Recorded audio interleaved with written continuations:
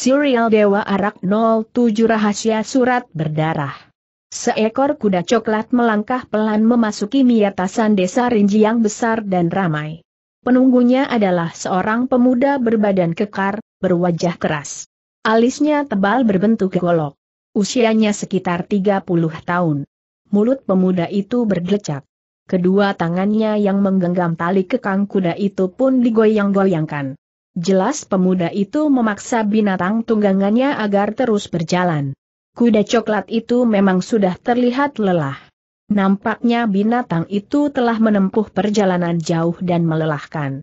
Dan itu memang sudah pasti, karena keadaan penunggangnya pun tidak jauh berbeda dengan tunggangannya. Terlihat lelah. Pakaian dan wajahnya kotor berdebu. Laki-laki berwajah keras itu menolehkan kepalanya ke kanan dan ke kiri. Sepasang alisnya yang tebal berbentuk golok berkerut. Jelas ada sesuatu yang dicarinya. Pandang matanya liar menatap rumah-rumah yang ada di kanan kirinya. Tak dihiraukannya pandang macu keheranan dari penduduk yang melihatnya. Sepasang alis yang berkerut itu lenyap. Wajah keras itu pun berseri ketika pandangannya tertumbuk pada sebuah bangunan besar dan megah. Bangunan ini berhalaman luas dan terkurung pagar tembok tinggi. Di depan pintu gerbangnya berdiri dengan gagahnya dua orang yang berjaga-jaga dengan sikap waspada. Ho ho Laki-laki berwajah keras itu menarik tali kekang kudanya tepat di depan pintu gerbang bangunan mewah dan megah itu. Hanya berjarak tiga tombak di depan kedua penjaga. Tentu saja hal itu membuat kedua penjaga memperhatikan laki-laki berwajah keras itu dengan sikap penuh curiga, dengan sebuah gerakan yang indah dan manis laki-laki berwajah keras itu melompat dari punggung kudanya. Ringan tanpa suara, kedua kakinya menjejak tanah. Kemudian sambil memegang tali kekang kuda, dituntunnya binatang itu menuju pintu gerbang. Karuan saja tindakan laki-laki berwajah keras itu membuat penjaga pintu gerbang terkejut. Serentak keduan melangkah menghadang sambil meraba gagang golok masing-masing bersiap menghadapi segala kemungkinan. Mengapa kalian menghalangi jalan kutanya laki-laki berwajah keras itu? Nada suaranya mengandung teguran. Kedua penjaga pintu gerbang itu saling berpandangan. Sorot mati mereka jelas menyiratkan kebingungan. Tidak salahkah pendengaran mereka ini? Maaf, kalau kami boleh tahu, siapakah Kisanak? Dan apa maksud Kisanak datang kemari tanya salah seorang penjaga yang berambut coklat, dengan suara meindah. Teguran laki-laki berwajah keras itu membuat mereka bersikap hati-hati. Kalian tidak mengenalku? Oh ya, mungkin kalian orang baru di sini. Apakah kalian pernah dengar nama Kanulaga laki-laki berwajah keras itu balik bertanya? Wajah kedua penjaga itu berubah. Mereka sebenarnya bukan tergolong orang baru. Sudah sepuluh tahun mereka bekerja pada pemilik bangunan megah dan mewah itu. Sehingga wajar kalau keduanya mengenal semua anggota keluarga majikannya. Memang, keduanya pernah mendengar kalau salah seorang anak majikan mereka yang bernama Kanulaga, pergi mengembara 15 tahun lalu. Jadi, laki-laki inikah putra sulung pemilik rumah mewah dan megah ini pikir mereka menduga-duga.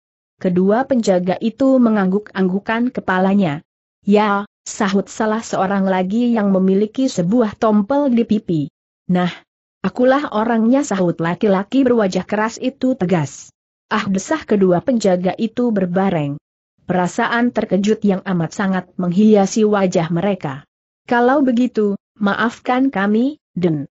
Kami tidak mengenal Aden, sehingga bersikap tidak sopan kepada Aden, ucap keduanya sambil membungkuk hormat. Hektometer, laki-laki berwajah keras yang mengaku bernama Kanulaga itu mendengus. Menyingkirlah, kalian. Aku ingin lewat. Penjaga yang memiliki tompel di pipinya segera beringsut menyingkir. Tapi, tidak demikian halnya dengan yang berambut coklat dia tetap berdiri menghadang jalan. Maafkan kami, Den. Sebelum kami yakin kalau Aden benar-benar Aden Kanulaga, kami tidak bisa memperkenankan Aden masuk.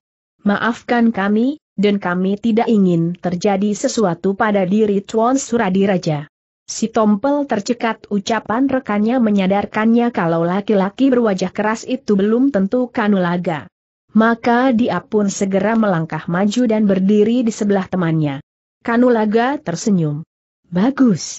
Aku ingin tahu sampai di mana kepandaian kalian sambut laki-laki yang mengaku bernama Kanulaga. Tali kekang kudanya lalu dilepaskan, kemudian ditepuk-tepuknya leher kuda coklat itu.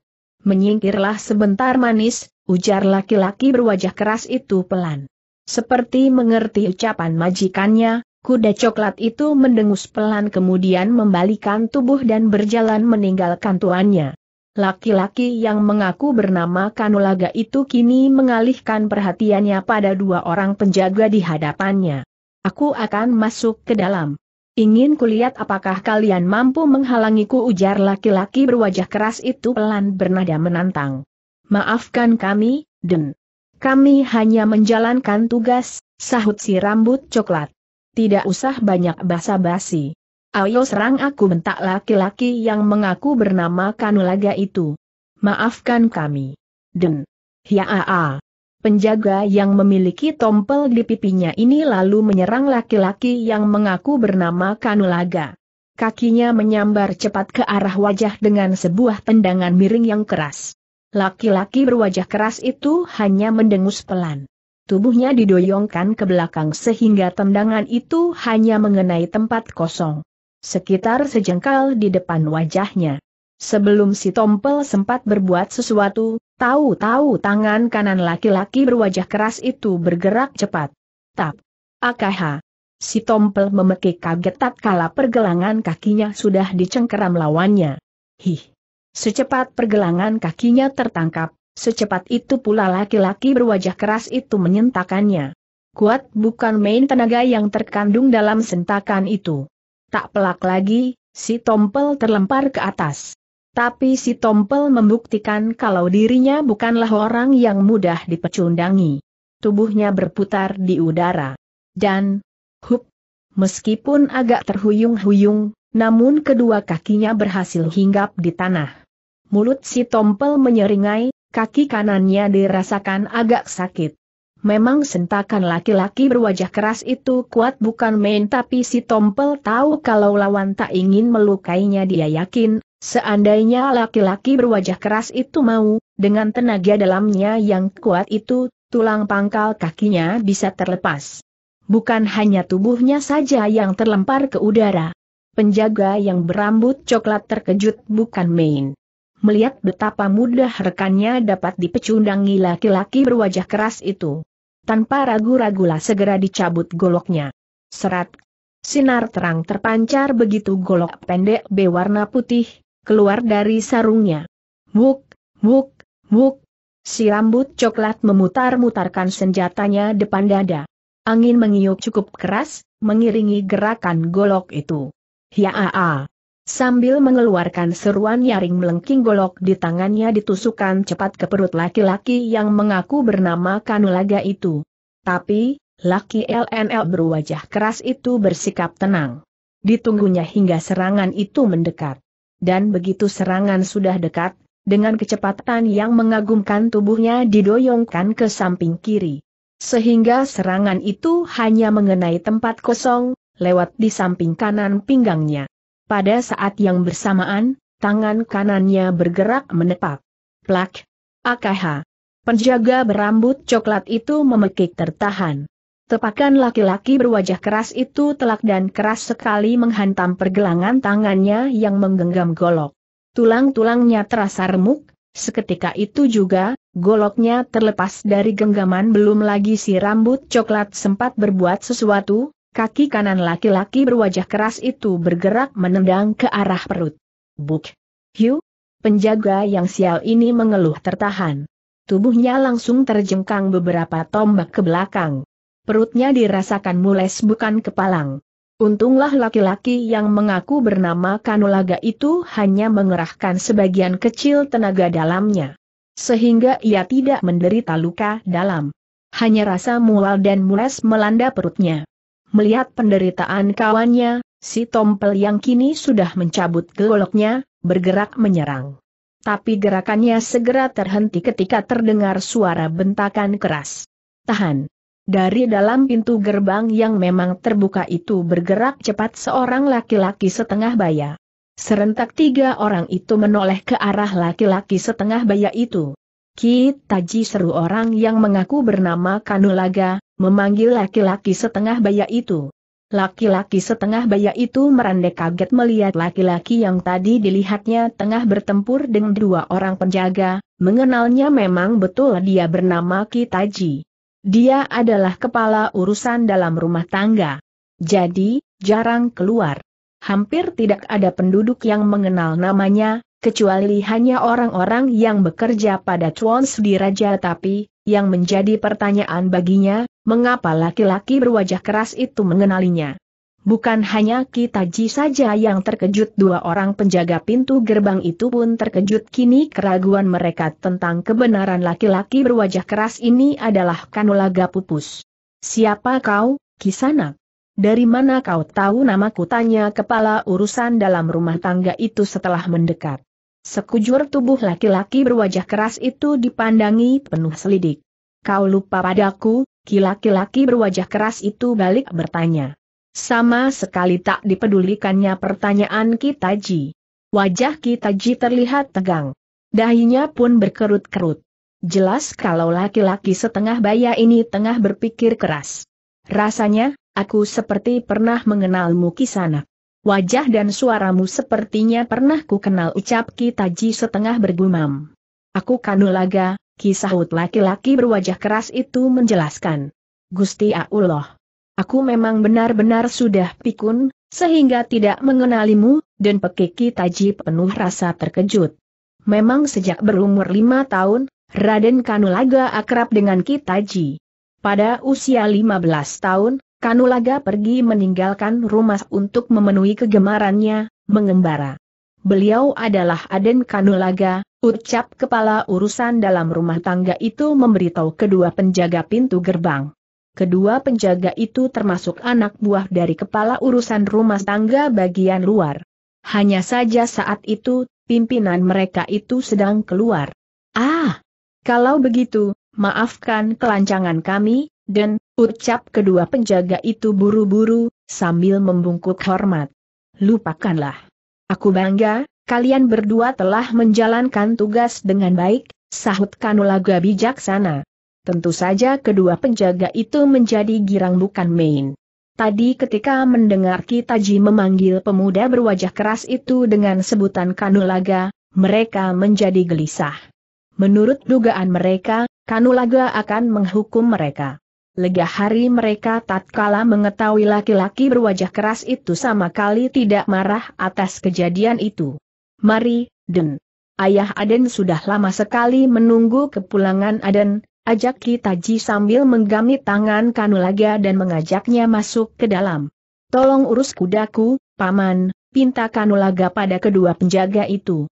Baik, Den, jawab kedua penjaga itu berbareng. Ruang tengah itu nampak mewah dan megah biasanya ruangan itu kosong. Paling hanya Sudiraja yang duduk termenung di sana. Tapi kini di ruangan tengah yang mewah dan megah itu, tampak tiga orang tengah duduk mengelilingi sebuah meja bulat yang indah dan mewah. Aku gembira sekali atas kepulanganmu, Kanulaga. Hampir saja aku mengutus orang-orangku untuk mencarimu, Ucap seorang laki-laki setengah baya bertubuh gemuk dan berperut gendut. Pakaiannya indah dan mewah. Bulu-bulu halus menghiasi kedua pipinya. Mengapa begitu? Ayah tanya Kanulaga menatapnya wajah laki-laki gendut berpakaian indah mewah yang ternyata adalah Sudiraja. Laki-laki berperut gendut yang kini telah berusia 60 tahun itu menarik napas panjang. Aku sudah tua, Kanulaga. Aku sudah lelah mengurus semua usahaku, jawab Sudiraja pelan. Tapi karena suasana di situ hening, suara laki-laki gendut itu jadi terdengar keras. Loh, bukankah ada Jalatara dan Nirmala? Apakah mereka tidak membantu ayah tanya Kanulaga lagi?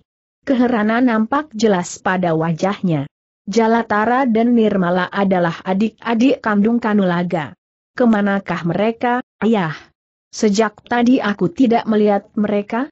Hahaha Sudiraja menghela napas panjang. Beberapa tahun semenjak kepergianmu mengembara, Jalatara pergi. Kepergiannya sama sekali tidak ada yang tahu. Belakangan baru ku ketahui, bahwa selagi bermain di halaman, ada seorang kakek yang membawanya dan mengajarkannya ilmu-ilmu kesaktin. Kini ku dengar dia menjadi salah seorang pengawal adipati, jelas Sudiraja. Lalu, Nirmala ke mana? Ayah tanya Kanulaga.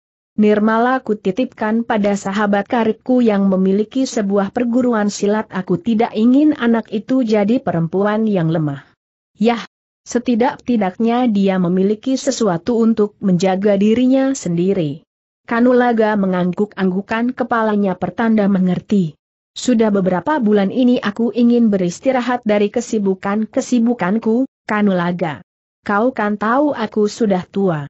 Kesehatanku tidak memungkinkan lagi untuk mengurus semua usahaku, ujar laki-laki berperut gendut itu menyambung ucapannya.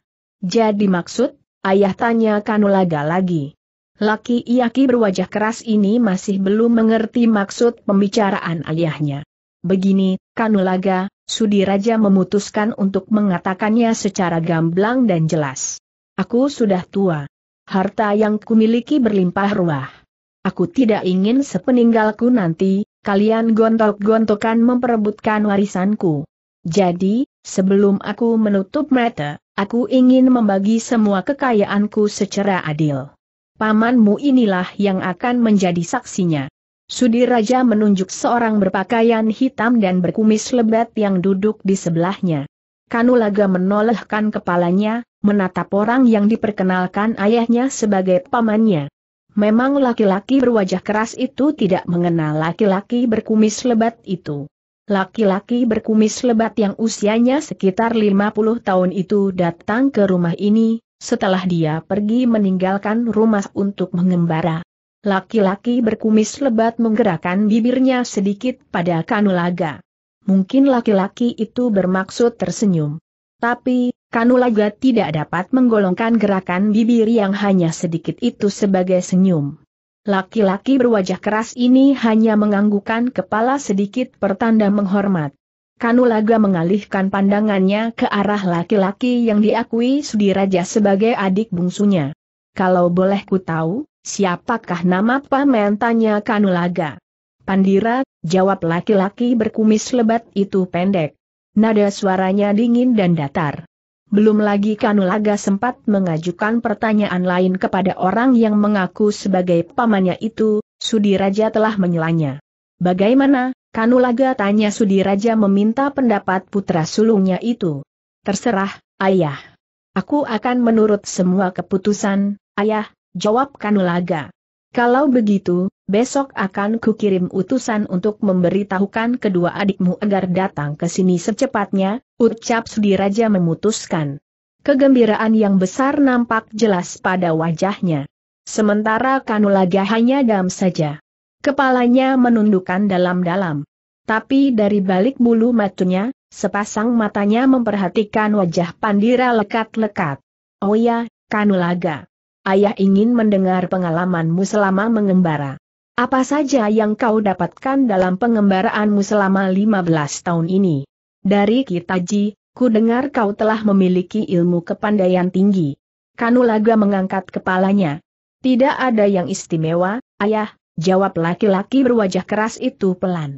Lalu, ilmu kepandaianmu itu, kau dapatkan dari mana desak Sudiraja? Dari seorang kakek yang berkenan mengangkatku sebagai murid. Pasti kakek itu memiliki ilmu kepandaian yang tinggi, sahut Sudiraja lagi. Aku hampir tidak mengenalimu tadi, Kanulaga. Wajah dan perawakanmu jauh berubah. Sekarang kau nampak begitu jantan dan matang. Oh ya, mungkin kau masih lelah sehabis menempuh perjalanan jauh dan melelahkan. Biar ku panggil Kitaji untuk mengurus kamarmu, ujar Sudiraja Seraya bangkit, hendak memanggil Kitaji. Tidak usah, ayah. Biar ku urus sendiri. Masih kamar yang dulu kan cegah Kanulaga Seraya bangkit dari duduknya. Sudiraja hanya menganggukkan kepalanya. Begitu putra sulungnya melangkah menuju kamarnya, dalam mangan itu tinggal Sudiraja dan adik bungsunya. 2. Hari masih pagi. Matahari belum naik tinggi ketika seekor kuda berpacu cepat memasuki mulut sebuah hutan. Hia. Hia a. Si penunggang melecutkan cemetinya berkali-kali ke arah pantat kuda yang berwarna hitam putih. Nampaknya si penunggang bermaksud memacu binatang itu berlari lebih cepat lagi. Debuk pun mengepul tinggi ke udara ketika kaki-kaki kuda itu menapak cepat di tanah berdebu. Belum jauh kuda itu memasuki hutan, tiba-tiba terdengar suara mendesing nyaring. Disusul melesatnya sebuah sinar kemerahan menyambar ke arah binatang itu. Cap! Telak sekali sinar kemerahan itu mengenai leher kuda hitam putih itu. Seketika itu juga binatang itu meringkik keras. Kedua kakinya terangkat tinggi-tinggi ke depan, membuat penunggangnya terlempar ke atas. Tapi si penunggang kuda ternyata bukanlah orang sembarangan. Manis sekali tubuhnya bersalto beberapa kali di udara kemudian hingga peringan di tanah. Hup! Tahu kalau ada bahaya mengancam, begitu sepasang kakinya mendarat di tanah, Tangannya cepat meloloskan sebatang pedang yang tersampir di punggungnya sepasang matanya menatap ke arah binatang tunggangannya yang telah tergolek tanpa nyawa. Pada leher binatang itu tertancap sebuah benda dari logam berwarna merah, berbentuk ekor kalajengking. Wajah si penunggang kuda berubah pucat. Sepasang matanya menatap liar ke sekelilingnya. Rupanya orang itu kenal betul dengan logam berbentuk ekor kalajengking merah itu. Benda itu adalah senjata khas, perkumpulan kala jengking merah. Belum lagi penunggang kuda itu berbuat sesuatu, mendadak melesat sesosok bayangan hitam. Sesaat kemudian sosok serba hitam itu telah berdiri di hadapan si penunggang kuda. Pada bagian dadanya terdapat gambar seekor kala jengking merah. Bagian wajahnya tidak terlihat karena tertutup selubung hitam. Tangan penghadang itu menggenggam sebatang tongkat panjang merah berujung ekor kalajengking. Kau tanda seru. Mengapa menghadang jalanku? Bukankah majikanku, Chuan Sudiraja tidak pernah lalai memberikan upet titanya penunggang kuda nada suaranya terdengar penuh tuntutan. Hahaha. Tidak usah banyak bacot. Kalau kau ingin selamat, serahkan surat itu padaku ucap si penghadang sambil tertawa bergelak. Surat. Surat apa tanya si penunggang kuda itu berpura-pura tidak mengerti. Majikannya memang menugaskan membawa surat untuk diserahkan pada Nirmala di perguruan hati suci. Entah untuk urusan apa, dia tidak tahu. Tapi yang menjadi tanda tanya bagi si penunggang kuda, dari mana orang perkumpulan kalala jengkeng merah ini mengetahuinya. Tidak usah pura-pura. Serahkan surat untuk Nirmala itu padaku. Atau kau ingin mampus sergah orang berpakaian serba hitam itu? Keras dan kasar suaranya. Kini utusan Sudiraja sadar, kalau tidak ada gunanya lagi dia berpura-pura. Orang yang menghadang di depannya ini jelas tahu tugas yang diembannya. Langkai dulu mayatku. Baru kau akan mendapatkan surat itu sahut utusan itu tegas. Hektometer. Rupanya kau lebih suka memilih mati dengus si penghadang murka. Setelah berkata demikian, orang yang di dadanya bergambar kala jengking merah ini, melompat menerjang. Senjata di tangannya, yang berupa tongkat panjang berujung logam merah berbentuk ekor kala jengking, disabetkan ke leher utusan Sudiraja. Wuut! Angin meniup cukup keras mengawali tibanya serangan itu. Utusan Sudiraja yang tahu betapa lihainya orang-orang perkumpulan kala jengking merah, tidak berani bertindak gegabah. Cepat-cepat kepalanya dirundukkan sehingga babatan tongkat itu lewat di atas kepalanya. Sementara utusan Sudiraja merunduk, goloknya ditusukkan ke perut lawan. Eh tanda seru. Orang berpakaian serba hitam itu memekik tertahan. Kaget juga dia melihat lawan dapat mengelakkan serangannya. Bahkan kini mampu membalas dengan serangan yang cukup berbahaya. Buru-buru dia melompat ke belakang, sehingga tusukan golok itu mengenai tempat kosong. Keparat. Kau harus mampus teriak orang yang di dadanya bergambar kala jengking merah. Hampir saja dia celaka karena terlalu menganggap enteng lawannya. Pengalaman pahit yang baru saja dialami, membuatnya tidak lagi bersikap terlalu memandang rendah lawannya. Haat. Sambil berteriak melengking, Pertanda kemarahan hatinya, tongkat berujung ekor kala jengking itu menyambar dahsyat ke arah lawannya. Tapi utusan Sudiraja bertekad untuk melawan mati-matian. Dia tidak ingin mengecewakan majikannya. Pertarungan sengit pun tak dapat dihindari lagi. Tapi hal ini hanya berlangsung beberapa jurus saja. Pada jurus-jurus berikutnya, nampak jelas keunggulan orang berpakaian serba hitam itu. Tongkat merah berujung ekor kala jengking di tangannya, berkali-kali hampir mengenai tubuh tawannya. Utusan Sudiraja menggertakkan gigi. Sejak semula sudah diketahui kalau dirinya bukanlah tandingan si penghadang. Tapi tanggung jawab terhadap tugas yang diembannya, membuat laki-laki ini nekat dan berusaha melawan mati-matian. Apa yang semula diduganya, kini menjadi kenyataan. Hujan serangan lawan benar-benar membuatnya repot bukan main. Dan robohnya dirinya, hanya tinggal menunggu waktu saja. Seret. AKH, L. Utusan Sudiraja Minikika tertahan ketika ekor kala jengking yang runcing itu menyerempet perutnya. Cairan merah kental mengalir dari luka goresan itu. Seketika itu juga rasa pening menyerang kepalanya. Racun pekik utusan Sudiraja tajam. Sesaat kemudian tubuhnya limbung. Hahaha si penghadang tertawa terbahak-bahak mendengar seruan kaget lawannya. Keparat. Kau, kau curang, maki utusan Sudiraja. Seketika kemarahannya meluap. Hahaha hanya suara tawa terbahak saja yang menyahuti makian utusan Sudiraja itu. Oh keluh utusan Sudiraja itu. Rasa pening di kepalanya semakin kuat menyerang. Sekelilingnya dirasakan bagai berputar-putar. Sekarang terimalah ajalmu, keparat. Hiaa. Setelah berkata demikian, orang berpakaian serba hitam itu melompat menerjang.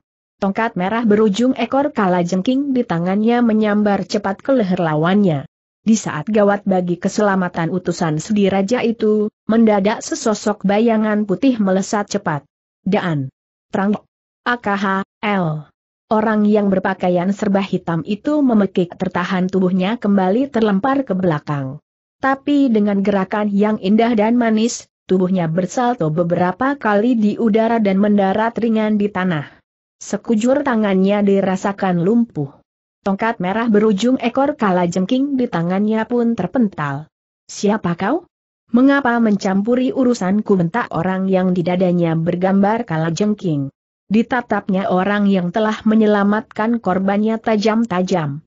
Berdiri membelakangi utusan Sudiraja, nampak seorang wanita cantik berpakaian serba putih. Rambut wanita itu dibiarkan meriap. Di tangannya tergenggam sebatang pedang. Sementara agak jauh di belakangnya, berdiri seorang pemuda tampan berambut putih keperakan berpakaian serba ungu. Sadar kalau lawan di hadapannya berilmu tinggi dan lagi pula utusan Sudiraja itu pun tidak lama lagi akan tewas, si penghadang memutuskan untuk melarikan diri. Cepat dibalikan tubuhnya dan berlari meninggalkan tempat itu, setelah terlebih dulu memungut senjatanya. Gadis berpakaian serba putih itu sama sekali tidak mengejar. Sosok serba hitam itu dibiarkan saja melarikan diri. Bruk! Suara berdebuk jatuhnya tubuh utusan Sudiraja, membuat pemuda berambut putih keperakan dan gadis berpakaian serba putih itu terkejut buru-buru keduanya melangkah menghampiri. Ah! Dia terkena racun ganas yang cepat daya kerjanya, Kang Arya, ucap gadis berpakaian serba putih itu setelah melihat luka di perut utusan itu. Hektometer. Dapatkah kau menolongnya? Melati tanya pemuda berambut putih keperakan yang memang bernama Arya Buana atau lebih dikenal berjuluk Dewa Arak itu. Gadis berpakaian putih yang bernama Melati itu menggelengkan kepalanya. Tidak, Ken. Racun ini ganas. Lagi pula hampir mencapai jantung. Tampaknya dia tinggal menunggu ajalnya saja, jawab Melati. Hahaha desah Arya. Nampak jelas kalau pemuda ini kecewa mendengar jawaban itu. Jangan pedulikan aku, tiba-tiba utusan Sudiraja itu membuka matanya yang sejak tadi terpejam. Sekujur wajahnya dipenuhi keringat sebesar butiran-butiran jagung. Yang penting, tolong selamatkan surat ini. Dan berikan pada Nirmala, lanjutnya terputus-putus. Setelah berkata demikian, dikeluarkannya sebuah gulungan surat yang diselipkan di balik ikat pinggangnya. Gulungan surat itu lalu diangsurkannya pada Dewa Arak. Ke mana kami harus mengantarkannya? Kisanak tanya Arya cepat, setelah menerima surat yang diangsurkan utusan Sudiraja. Pemuda berambut putih keperakan ini khawatir kalau orang itu keburu tewas sebelum sempat memberitahukan ke mana dia harus mengantar surat itu. Ke perguruan. Hati. Suci, sahut utusan itu terputus-putus. Tolong, jangan biarkan orang-orang perkumpulan kala jengking merah merebutnya. Perkumpulan kala jengking merah. Kami tidak mengerti maksudmu, Kisanak. Bisakah kau beritahukan pada kami siapa mereka desak melati? Keringat sebesar jagung semakin banyak bermunculan di wajah utusan yang tengah berada di ambang maut itu. Mereka adalah perkumpulan orang jahat dan, kahak kepala utusan Sudiraja terkulai sebelum sempat menyelesaikan keterangannya. Hahaha Dewa Arak mendesah bingung. Kini dia dan Melati dihadapkan pada satu urusan dan sudah menjadi sifat Arya untuk selalu mencampuri urusan yang dirasanya mengandung unsur ketidakadilan. Tapi yang menjadi pertanyaan Dewa Arak, dari mana dia harus memulainya? Sudahlah, Kang Arya. Yang penting kita harus kuburkan mayatnya dulu, selak melari ketika melihat tunangannya hanya berdiri termangu. Hahaha Dewa Arak mendesah. Dipungutnya golok utusan Sudiraja. Kemudian kakinya dilangkahkan ke sebuah tempat yang agak tersembunyi dan terlindung. Golok itu dipakai untuk menggali lubang mengubur mayat utusan Sudiraja. Dengan tenaga dalamnya yang memang sudah mencapai tingkatan tinggi, tidak sulit bagi Dewa Arak untuk membuat sebuah lubang yang cukup besar dan dalam. Meskipun tanah di situ keras, tapi Arya menggali seperti orang menggali tanah lunak mempergunakan cangkul saja layaknya.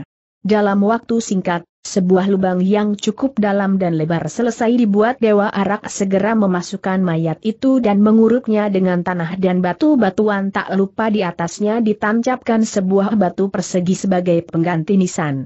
Kang Arya, panggil Melati ketika dilihatnya Dewa Arak telah menyelesaikan pekerjaannya. Arya menoleh.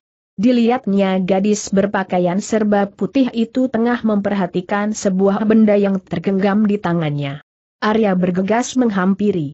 Melati segera memberikan logam berbentuk ekor kala jengking merah pada Dewa Arak. Pemuda berambut putih keperakan itu menerimanya. Diperhatikannya benda yang kini dipegangnya dengan seksama. Dari mana kau dapatkan benda ini, Melati tanya Arya. Dari leher kuda itu, Ken, Jawab gadis itu sambil menunjuk kuda hitam putih yang tergolek tanpa nyawa di dekatnya. Dewa Arak membungkukan tubuhnya. Sejenak diperhatikannya sekujur tubuh kuda itu, kemudian bangkit berdiri. Racun yang sama, desis Arya pelahan. Senjata rahasia itu bentuknya aneh sekali, kan? Ya. Seperti ekor kala jengking, jawab Arya sambil mengernyitkan keningnya. Melati mengangguk-anggukan kepalanya. Ada apa, Melati tanya Arya. Jelas ada suatu kesimpulan yang didapatkan gadis itu sehingga membuatnya mengangguk-angguk pertanda mengerti. Jelas pembunuhnya adalah orang dari perkumpulan kala jengking merah, kan? Sahut gadis berpakaian serba putih itu. Dewa Arak mengernyitkan alisnya. Memang sudah didengarnya, orang yang menitipkan surat tadi menyebutkan nama perkumpulan kala jengking merah. Perkumpulan kala jengking merah, gumam pemuda berambut putih keperakan itu. Sepasang matanya menatap kosong. Jelas ada sesuatu yang dipikirkannya. Kau pernah mendengarnya, Melati? Tidak. Kau mengetahuinya. Keng melari balik bertanya sambil menatap Arya tajam. Gadis ini memang belum pernah mendengar nama perkumpulan itu. Dewa Arak menggelengkan kepalanya. Lalu bagaimana dengan surat itu? Kang tanya melari lagi. Yah, seperti yang telah dipesankan oleh orang tadi, jadi ya. Kita antarkan kepada Nirmala di perguruan hati suci, jelas Arya. Melati terdiam sejenak. Lalu bagaimana dengan bangkai kuda ini, Ken? Aku khawatir racun ini akan menyebar. Tubuh binatang ini telah mengandung racun, ucap Melati meminta pendapat Dewa Arak. Arya tercenung sejenak. Disadari kebenaran ucapan tunangannya ini. Jalan saru-satunya hanyalah membakarnya. Mengubur bangkai ini terlalu menyita waktu. Harap kau menyingkir sebentar, Melati, pinta pemuda berambut putih keperakan itu. Tanpa berkata apa-apa, Melati segera melangkah menyingkir tanpa diberitahu pun gadis ini tahu kalau Dewa Arak akan mempergunakan jurus yang belum lama dikuasainya. Jurus membakar matahari. Dewa Arak melangkah mundur. Jarak antara dia dengan bangkai binatang itu sekitar empat tombak. Kemudian kedua tangannya dengan jari-jari terkembang membentuk cakar, dihentakkan dua kali berturut-turut. Hus, hus. Dua gumpal api meluncur dari telapak tangan Dewa Arak ke arah bangkai kuda itu. Terdengar suara letupan pelan ketika kedua bola api itu mengenai tubuh binatang itu. Sesaat kemudian, api pun berkobar. Tak lama kemudian di tempat itu tercium bau sangat daging terbakar, diiringi bau amis yang memuakan. Melati segera menyingkir lebih menjauh lagi. Kedua hidungnya ditutup untuk mencegah bau tidak enak yang membuat perutnya mual. Dalam waktu sekejap, api itu telah membakar habis bangkai kuda hitam putih tersebut kini yang tinggal hanyalah honggokan daging dan tulang-tulang yang kemudian buyar tertiup angin. Hahaha. Arya menghela napas lega. Kakinya kemudian dilangkahkan menghampiri Melati. Mari kita tuntaskan tugas kita, Melati. Gadis berpakaian serba pulih itu menatap wajah Dewa Arak penuh takjub sesaat baru kemudian dia pun ikut melangkah di sebelah Arya, meninggalkan tempat itu. Matahari telah naik tinggi. Sinarnya yang menyengat kulit menyoroti bumi dengan garang. Tapi teriknya sinar itu tidak dirasakan oleh orang yang berada dalam bangunan termegah di desa Rinji. Apa itu, ayah tanya Kanulaga ketika melihat tengah membungkus sesuatu dalam sebuah kantung kain yang cukup besar. Sudiraja terkejut bukan main. Hampir saja dia terlonjak kaget mendengar teguran itu. Diam-diam dia memaki dirinya sendiri, mengapa dia lupa mengunci pintu kamarnya, sehingga putra sulungnya itu dapat masuk dan mengetahui perbuatannya. Tidak ada apa-apa, Kanulaga, jawab Sudiraja gugup. Jelas kalau kedatangan Kanulaga ke kamarnya, di luar dugaannya. Kanulaga mengernyitkan alisnya. Perasaan curiganya pun timbul ketika melihat perubahan air mukanya. Dengan langkah lebar, dihampiri ayahnya. Boleh kulihat apa yang ayah bungkus itu tanya laki-laki berwajah keras itu penuh rasa ingin tahu. Tidak ada apa-apa, Kanulaga. Yah, hanya, tidak perlu membohongiku. Ayah. Aku tahu apa yang ayah bungkus itu, selak Kanulaga cepat kau tahu tanya Sudiraja setengah tidak percaya. Ya, jawab Kanulaga singkat apa desak Sudiraja penasaran. Ingin diketahuinya jawaban putra sulungnya apalagi kalau bukan harta kekayaan ayah. Wajah Sudiraja berubah pucat tapi hal ini hanya berlangsung sesaat, sebentar kemudian wajahnya sudah kembali seperti sedia kala. Dugaanmu tidak salah, Kanulaga. Ayah memang sengaja memisahkannya ya. Tempat penyimpanan harta ayah sudah penuh, jelas Sudiraja mencoba tersenyum. Hahaha Kanulaga menghela napas dalam-dalam. Ditatap wajah ayahnya lekat-lekat. Ayah masih saja berusaha menyembunyikan hal ini padaku, keluhnya pelan. Apa maksudmu, Kanulaga? Ayah tidak mengerti sergah Sudiraja dengan suara ditekan. Tapi sungguh pun begitu, tetap saja laki-laki gendut ini tidak bisa menyembunyikan kegelisahannya. Ayah masih juga berpura-pura aku sudah tahu untuk apa harta kekayaan itu. Aku telah tahu semuanya tandas Kanulaga tegas. Pucat pias wajah Sudiraja mendengar ucapan anaknya. Sepasang matanya menatap liar ke kanan dan ke kiri, seperti ada sesuatu yang ditakutinya. Tutup mulutmu, Kanulaga. Kau tahu, tindakanmu itu hanya akan membahayakan dirimu sendiri bentak Sudiraja. Kanulaga menarik napas dalam-dalam dan menghembuskannya kuat-kuat. Perlu ayah tahu, dalam pengembaraanku berkali-kali aku berhadapan dengan maut jadi, kematian bukanlah sesuatu yang menakutkan bagiku, ayah. Aku lebih suka mati terhormat daripada hidup terinjak-injak, tegas dan keras kata-kata Kanulaga. Sudiraja menatap wajah putra sulungnya lekat-lekat. Kau tidak tahu siapa mereka, Kanulaga, desis laki-laki gendut itu tajam. Aku tahu, ayah. Bukankah mereka adalah perkumpulan kala jengking merah sahut Kanulaga tegas. Kau hanya tahu satu, tapi tidak tahu yang kedua, Kanulaga sentak Sudiraja. Maksud, ayah tanya Kanulaga tidak mengerti. Kau tahu di mana markas mereka? Laki-laki berwajah keras itu mengangkat bahu. Aku tidak tahu. Ayah. Tapi apakah ayah tahu Kanulaga balik bertanya. Laki-laki berperut gendut itu tersenyum penuh kemenangan. Itulah yang membuat mereka lebih berbahaya, Kanulaga. Tidak seorang pun tahu di mana markas mereka. Yang jelas setiap orang yang membangkang kemauan mereka, pasti tewas. Lalu, ke mana ayah mengantarkan upeti itu tanya Kanulaga lagi setelah termenung sejenak. Sudiraja mengernyitkan alisnya. Laki-laki berperut gendut ini mencium gelagat yang mencurigakan pada sikap putra sulungnya. Untuk apa kau mengetahuinya? tanya Sudiraja. Sepasang matanya merayapi sekujur wajah Kanulaga. Sepertinya di wajah itu dapat ditemukan jawaban dari pertanyaannya. Hanya ingin tahu saja, sahut laki-laki berwajah keras itu sekenanya. Kalau begitu, kau tak perlu mengetahuinya, Kanulaga, jawab Sudiraja ringan. Kanulaga menatap wajah ayahnya sejenak laki-laki berwajah keras yang juga memiliki watak keras ini menghembuskan napas panjang.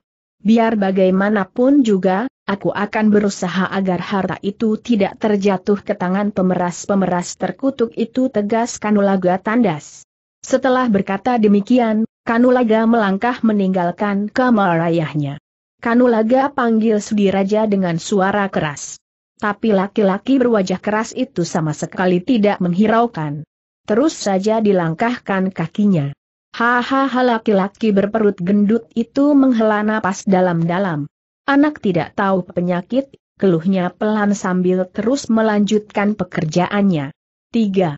Siang itu udara terasa panas sekali. Seng matahari memancarkan sinarnya yang terik, menyorot garang ke bumi. Hahaha Dewa Arak menghela napas. Disusulnya peluh yang membasahi sekujur wajah dan lehernya dengan punggung tangan. Ditolehkan kepalanya ke arah melati yang duduk di sebelahnya. Gadis itu juga tengah menyusuri peluh yang membasahi wajah dan lehernya yang berkulit putih, halus, dan mulus itu. Memang Dewa Arak dan Melari tengah duduk beristirahat di bawah pohon yang berdaun rindang. Daerah di sini panas ya, Ken? Ucap Melati pelan membuka percakapan. Ya, sahut Tarya sambil menatap wajah gadis berpakaian serba putih itu lekat-lekat tapi sabarlah, Melati.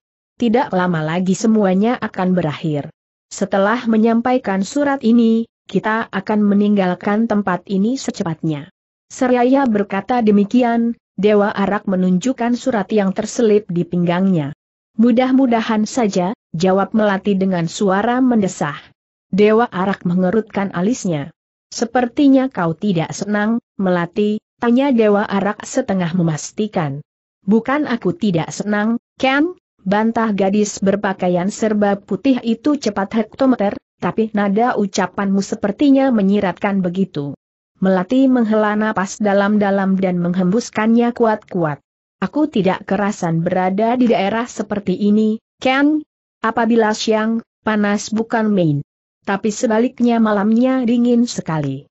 Tapi tugas itu. Kenapa tugas ini, melatih tugas ini sepertinya tidak akan mudah kita laksanakan. Ken, maksudmu? Aku yakin mau tidak mau kita akan terseret ke dalam urusan yang akan membuat kita berada di sini untuk waktu yang cukup lama, Ken, tegas dan jelas kata-kata melati. Arya tercenung. Disadarinya kebenaran dalam ucapan gadis yang dicintainya ini. Dia pun tidak yakin, kalau sehabis mengantarkan surat ini, tugasnya akan selesai. Mungkin kau benar, Melati, desah pemuda berambut putih keperakan ini pelan. Suasana menjadi hening ketika Dewa Arak menyelesaikan ucapannya. Kedua pendekar muda ini tenggelam dalam lamunannya masing-masing. Tapi tiba-tiba hampir berbareng keduanya saling pandang. dahi mereka berkerut-kerut. Ada banyak langkah kaki yang menuju kemari, melati, ucap Dewa Arak memberitahu. Aku pun mendengarnya, Ken, sahut gadis berpakaian serba putih itu. Memang, baik Melati maupun Arya telah sama-sama mendengar suara itu. Waspadalah, Melati. Sepertinya, mereka tidak bermaksud baik. Belum juga gema suara Dewa Arak lenyap, terdengar suara-suara mendesing nyaring disusul dengan berkelebatnya belasan sinar kemerahan ke arah mereka. Bagai di komando, meskipun masih dalam posisi duduk, kedua muda-muda itu serentak menghentakkan kedua tangannya ke depan. Dewa Arak dengan jurus pukulan belalangnya, sedangkan Melati dengan jurus naga merah membuang mustika. Angin berhembus keras ke arah sinar-sinar kemerahan yang menyambar ke arah dua muda-mudi yang sakti itu. Hebat akibatnya. Belasan sinar merah itu rontok, berjatuhan di tanah sebelum sempat mendekati Dewa Arak dan Melati. Tapi baru saja belasan sinar merah yang ternyata adalah logam merah berbentuk ekor kala jengking itu rontok ke tanah, belasan sosok berpakaian serba hitam muncul dari balik rimbunan semak dan pohon. Hahaha. Ada saja gangguan, keluh melati. Dewa Arak tersenyum mendengar gerutu gadis itu. Tak lama kemudian, pemuda itu bangkit dari duduknya. Kau istirahat saja, Melati. Biar aku yang menghadapi mereka, ujar Arya. Setelah berkata demikian, Dewa Arak lalu menghampiri belasan orang yang sudah siap menyerang. Diperhatikannya mereka sejenak. Jumlah mereka sebelas orang, berpakaian serba hitam, yang di dadanya berkambar kala jengking merah. Wajah mereka tidak terlihat karena tertutup selubung hitam. Senjata tongkat panjang merah berujung ekor kalajengking, tergenggam di tangan mereka. Serahkan surat itu pada kami, Kisanak. Dan kami berjanji akan membiarkan kau dan temanmu pergi dengan selamat ucap salah seorang dari para pengepung itu. Berbeda dengan yang lainnya, pada dahi selubungnya tertera tanda totol merah. Sementara pada dahi selubung yang lainnya tidak terdapat tanda apa-apa. Sayang sekali. Aku telah dipesan oleh yang bersangkutan untuk menyerahkan surat ini pada yang berhak menerimanya, sahut Arya kalem. Keparat. Jadi, kau tidak mau memberikan surat itu, kisanak gertaksi selubung bertotol merah. Sudah kukatakan, aku hanya akan memberikan pada yang berhak menerimanya tegas Dewa Arak Tandas. Rupanya kau lebih suka mampus. Hiaa setelah berkata demikian, orang berpakaian serba hitam ini menusukkan senjata anehnya ke arah perut Arya. Tapi Dewa Arak hanya tersenyum tipis. Tubuhnya segera didoyongkan ke samping kanan, sehingga senjata itu lewat di samping kiri sambil tangan kanannya bergerak menangkap. Tap! AKH! Si penyerang terpekik kaget ketika tangannya telah ditangkap Dewa Arak. Dan jerit kekagetan itu segera berubah menjadi jerit kesakitan, Ketika Arya menggerakkan jari-jari tangannya meremas. Terdengar suara gemeretak dari tulang-tulang tangan yang remuk pemuda berambut putih keperakan ini tahu kalau orang-orang yang mengepungnya ini berwatak kejam dan jahat maka Dewa Arak sengaja bertindak agak keras terhadap mereka. Belum lagi, penyerang yang sial ini berbuat sesuatu, Dewa Arak menyentakkan tangannya. Tak pelak lagi tubuh orang itu melayang ke depan. Aa, Jerit orang berpakaian serba hitam itu penuh rasa ngeri. Tubuhnya melayang deras ke arah batang pohon sebesar dua pelukan orang dewasa. Buk! AKH! Terdengar keluhan tertahan dari mulut penyerang yang sial, ketika kepalanya menghantam batang pohon. Seketika itu juga orang berpakaian serba hitam yang pada bagian dahi selubungnya terdapat totol merah ini pingsan. Seruan-seruan kaget terdengar dari mulut para penyerang, begitu melihat rekannya roboh hanya dalam segebrakan saja di tangan pemuda berambut putih keperakan ini. Meskipun begitu, belasan orang itu tidak menjadi gentar. Sambil memekik nyaring, mereka serentak menyerang Dewa Arak. Belasan senjata tajam pun berkelebatan menghujani Arya. Sekali lihat saja, Dewa Arak dapat mengukur tongkat kepandaian para pengeroyoknya memang tingkat kepandaian mereka rata-rata cukup tinggi. Tapi masih terlalu jauh jika diperbandingkan dengannya maka, Dewa Arak tidak merasa perlu mempergunakan ilmu andalannya. Pemuda itu hanya menggunakan ilmu delapan kero menaklukkan harimau. Ilmu yang diwariskan ayahnya. Hebat bukan main sepak terjang Dewa Arak. Ke mana saja, tangan atau kakinya bergerak, pastilah di situ ada lawan yang roboh. Tapi Dewa Arak yang memang tidak berwatak kejam, tidak pernah menurunkan tangan maut pada mereka. Paling-paling dia hanya mematahkan satu kaki atau tangan mereka untuk sekedar memberi pelajaran.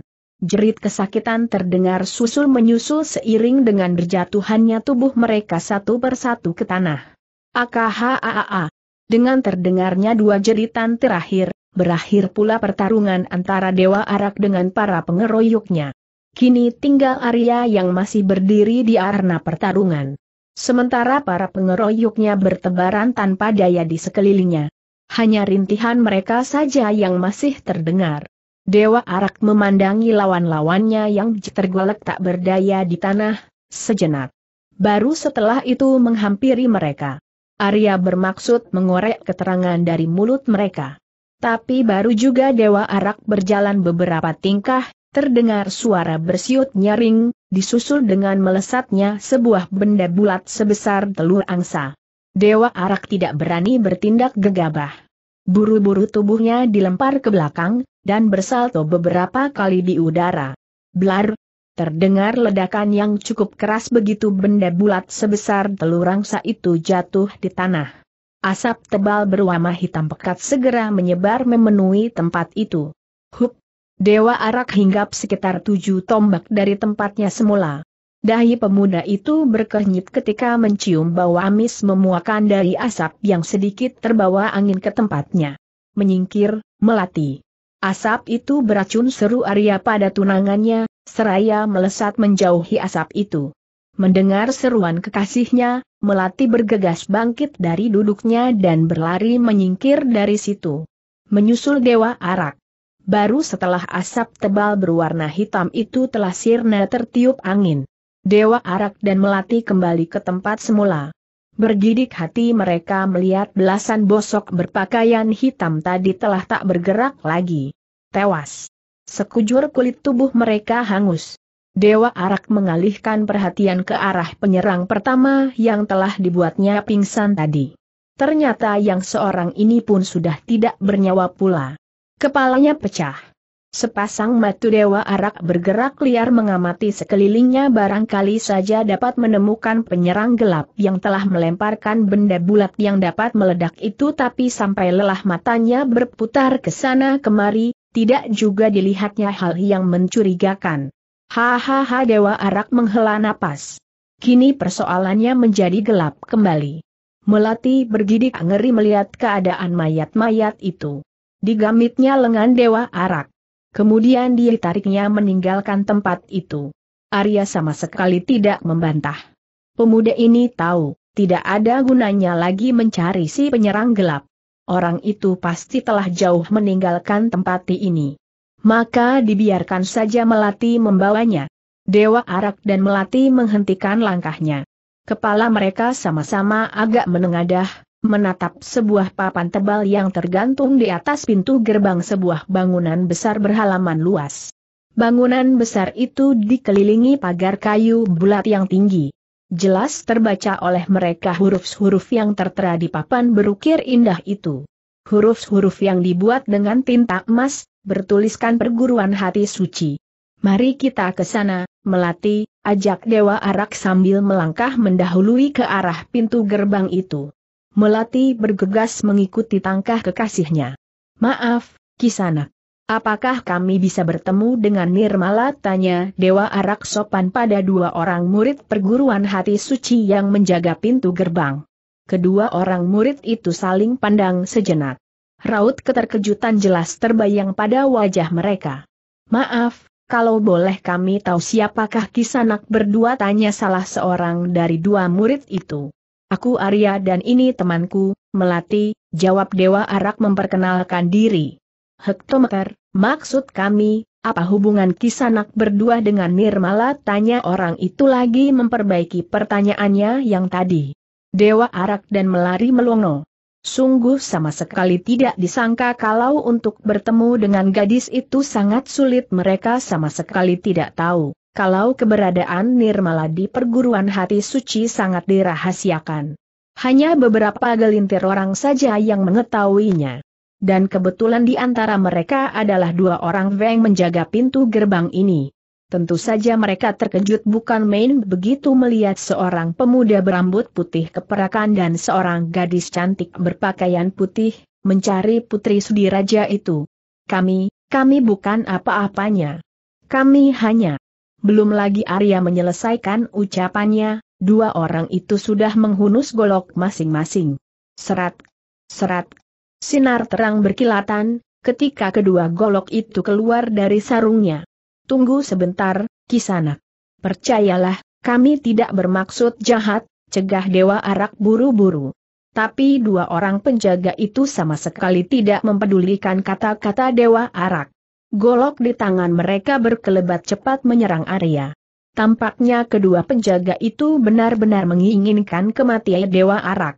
Melati yang memang berwatak keras, menjadi tidak senang melihat sikap kedua orang itu. Kalian pikir, hanya kalian saja yang memiliki kepandaian ucapnya keras, seraya melayangkan tubuhnya. Sesaat kemudian gadis berpakaian putih itu telah berdiri membelakangi Arya. Mundur, melati teriak Dewa Arak mencegah. Pemuda berambut putih keperakan ini tidak ingin keadaan menjadi lebih kacau dengan ikut campur tangannya melati, gadis yang diketahuinya memiliki watak keras. Tapi Melati sama sekali tidak mempedulikan seruan kekasihnya. Kedua tangan gadis berpakaian serba putih itu tahu-tahu sudah bergerak cepat menangkis golok yang menyambar ke arahnya dengan tangan kosong. Tak, tak, tap, tap. Seolah-olah yang menyambarnya bukan dua bilah golok, tangan halus melati menangkisnya bahkan menangkapnya sekaligus. Uh, Dua orang murid perguruan hati suci itu berusaha sekuat tenaga menarik pulang senjata mereka dari cengkeraman melati. Tapi cengkeraman itu begitu kuat bagaikan sebuah jepitan baja. Betapapun kedua orang itu mengerahkan seluruh tenaga dalamnya, tetap saja usaha mereka sia-sia. Melati hanya tersenyum sin is. Berbeda dengan wajah kedua murid perguruan hari suci yang memerah karena mengerahkan tenaga yang melewati batas, wajah gadis ini terlihat biasa-biasa saja. Tak terlihat kalau Melati sedang mengerahkan tenaga dalamnya. Beberapa saat kemudian, mendadak Melati melepaskan cengkeramannya. Akibatnya sudah bisa didugai kedua murid perguruan hati suci itu terjengkang ke belakang dan jatuh berdebuk di tanah, terbawa betotan tenaga mereka sendiri. Melati bertolak pinggang menatap kedua lawannya yang tengah bangkit sambil tersenyum sinis. Tapi rupanya kedua orang itu masih penasaran. Terbukti begitu bangkit, mereka sudah bersiap akan menyerang kembali. Tapi sebelum hal itu terjadi, terdengar sebuah suara keras mencegah. Tahan. Belum lagi habis gemas suara bentakan itu, angin dingin berkesiut disusul dengan munculnya seorang lelaki bertubuh sedang, berusia sekitar 55 tahun. Laki-laki itu berbibir tebal dan berpakaian jingga. Guru seru kedua murid perguruan hati suci itu berbareng sambil menjurah hormat. Laki-laki berbibir tebal yang ternyata adalah ketua perguruan hari suci ini menatap tajam wajah kedua muridnya, setelah sekilas melirik ke arah Melati dan Dewa Arak. Puja, Jaya, apa-apaan ini tegur laki-laki berpakaian jingga itu. Maafkan kami, guru, tapi kedua orang ini mencurigakan, jawab salah seorang dari mereka yang bertubuh pendek. Mencurigakan? Mencurigakan bagaimana? Puja tanya laki-laki berbibir tebal itu lagi. Kembali sudut matanya melirik pada Melati dan Dewa Arak. Mereka mencari Nirmala, guru, jawab laki-laki pendek yang ternyata bernama Puja. Pelahan sekali suaranya, seperti suara desahan saja. Wajah ketua perguruan hati suci langsung berubah.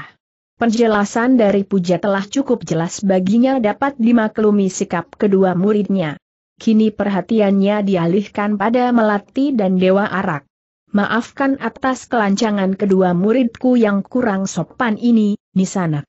Tapi, benarkah apa yang dikatakan kedua muridku tanya laki-laki berbibir tebal itu kepada Melati yang berada lebih dekat dengannya. Memang, gadis berpakaian putih itu berdiri agak jauh di depan Dewa Arak. Melihat sikap sopan yang ditunjukkan laki-laki berpakaian jingga itu, kedongkolan Melati pun berkurang. Tangannya yang semula bertolak pinggang, diturunkan. Benar, Ki, sahut Melati sambil menganggukkan kepalanya. Ketua perguruan hati suci itu mengangguk-anggukan kepalanya. Kalau boleh ku tahu, siapakah Nisanak dan Kisanak ini sebenarnya? Dan ada urusan apa mencari Nirmala? Aku Kitanu, ketua perguruan hati suci. Aku melati, sedangkan temanku ini berjuluk Dewa Arak, jawab melari. Sengaja gadis ini memperkenalkan pemuda berambut putih keperakan ini dengan julukannya, tidak dengan namanya. Memang, julukan Dewa Arak jauh lebih dikenal ketimbang nama Arya Buana. Dugaan gadis berpakaian serba putih ini tidak salah.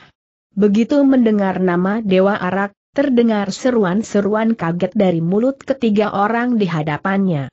Sementara Arya sendiri hanya dapat menghela napas. Dia tahu Melati masih merasa mendongkol dengan kejadian tadi. Ah, kalau begitu pasti ada sesuatu yang penting, sehingga kalian mencari Nirmala. Mari, mari masuk. Lebih baik kita bicarakan masalah ini di dalam, ucap Kitanu setelah hilang rasa kagetnya. Setelah berkata demikian, ketua perguruan hari suci melangkah masuk ke dalam. Melati pun ikut melangkah masuk, setelah terlebih dulu melempar pandang mata penuh kemenangan pada kedua orang murid Kitanu. Dewa Arak yang melihat hal itu hanya tersenyum geli di dalam hati. Sifat tidak mau kalah dari gadis itu masih belum juga hilang, ucapnya dalam hati sambil terus melangkah ke dalam.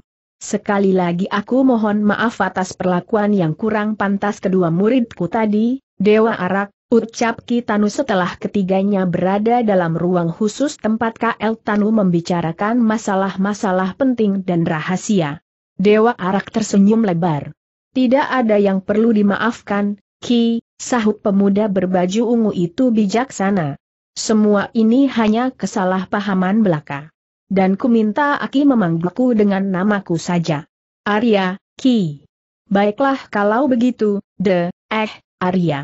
Kalau boleh ku tahu, ada urusan apa, kau dan Nini Melati ini mencari Nirmala tanya laki-laki berpakaian jingga ini. Sebetulnya kami sama sekali tidak mempunyai urusan dengan Nirmala, Ki mengenalnya pun tidak bahkan mendengar namanya saja belum lama, jelas Dewa Arak. Eh tanda seru. Mengapa begitu tanya Ki Tanu agak kaget. Yah, hanya sebuah ketidaksengajaan saja yang menyebabkan kami mencari Nirmala, Ki, jawab Dewa Arak memberi penjelasan. Lalu diceritakannya tentang semua kejadian yang dialaminya sebelum tiba di perguruan hati suci. Ki Tanu mendengarkan cerita Dewa Arak dengan wajah sungguh-sungguh hingga pemuda berambut putih keperakan itu menyelesaikan ceritanya. Bisa kulihat surat itu, Arya tanya Ki Tanu setelah Dewa Arak menyelesaikan ceritanya. Dewa Arak mengerutkan alisnya mendengar permintaan laki-laki berbibir tebal itu. Maaf, Ki. Aku tidak dapat memberikannya padamu. Pesan orang itu, Surat ini harus kuberikan langsung pada Nirmala, jawab Dewa Arak tegas. Ki Tanu tersenyum. Ketua perguruan hari suci ini benar-benar mengagumi sikap Dewa Arak. Aku mengerti, Arya. Tapi bila kau berikan surat itu padaku atau pada Nirmala, sama saja. Nirmala adalah muridku. Murid istimewa. Ayah gadis itu sendiri yang menitipkannya padaku. Sudi Raja, ayah Nirmala adalah kawan akrabku. Dia biasa mengirim surat padaku menanyakan bagaimana keadaan putrinya. Atau dia mengirimkan surat untuk putrinya sendiri tapi surat kali ini agaknya banyak mengandung keanehan, Arya. Maksud, Aki tanya Dewa Arak. Kini sudah jelas baginya siapa itu Nirmala, dan siapa laki-laki berbibir tebal ini. Tadi kau bilang, Orang yang bertugas mengirimkan surat ini tewas di tangan orang yang berpakaian dan berselubung hitam, bergambar kala jengking merah di dada tanya Kitanu lagi, meyakinkan. Benar, Ki.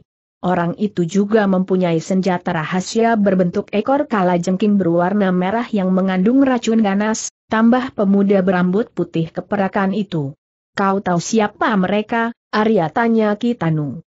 Sepasang matanya merayapi sekujur wajah Dewa Arak. Seolah-olah di wajah pemuda itu terdapat jawaban bagi pertanyaannya. Sedikit, Ki. Sebelum mati, pembawa surat ini sempat mengatakan padaku, kalau orang-orang perkumpulan kala jengking merahlah yang melakukannya, jawab Dewa Arak. Apa yang dikatakan utusan Sudiraja itu memang benar. Hektometer, Selain itu apalagi yang kau ketahui tentang perkumpulan kala jengking merah, Arya desak Kitanu ingin tahu. Dewa Arak menggelengkan kepalanya. Tidak ada lagi, Ki. Sudah kuduga. Aku saja yang sudah puluhan tahun tinggal di sini, masih belum begitu jelas mengetahui perkumpulan misterius itu. Hahaha, ujar Kitanu sambil menghela napas panjang. Perkumpulan misterius, Ki tanya Dewa Arak.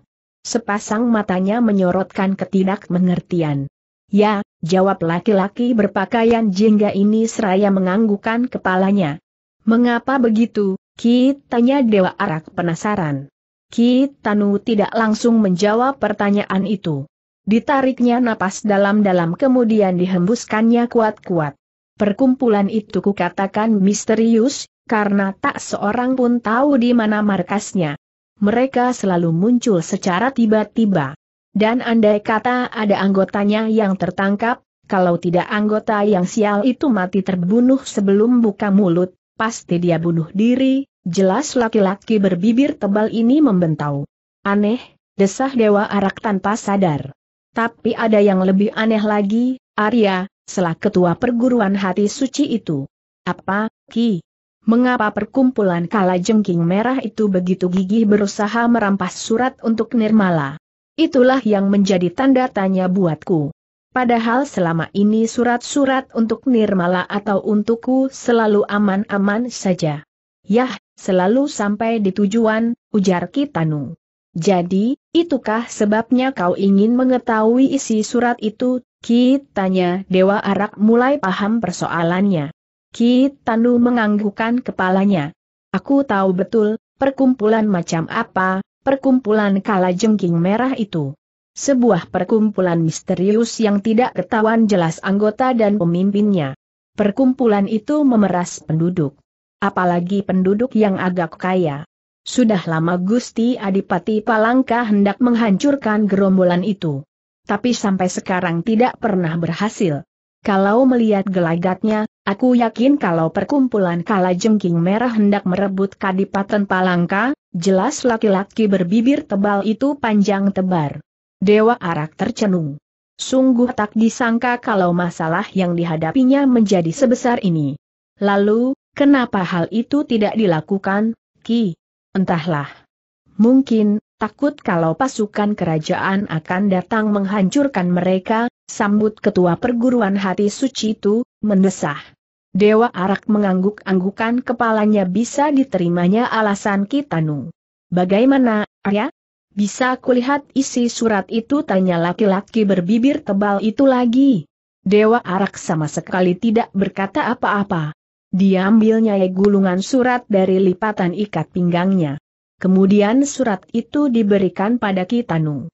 Terima kasih atas kepercayaan yang kau berikan padaku, Arya, ucap laki-laki berpakaian jingga itu sambil menerima gulungan surat yang diangsurkan Dewa Arak. Pelahan-lahan ketua perguruan hati suci ini membuka gulungan surat itu, lalu dibacanya. Sementara Dewa Arak dan Melati hanya memperhatikannya saja tanpa berkeinginan untuk mengetahui isi surat itu.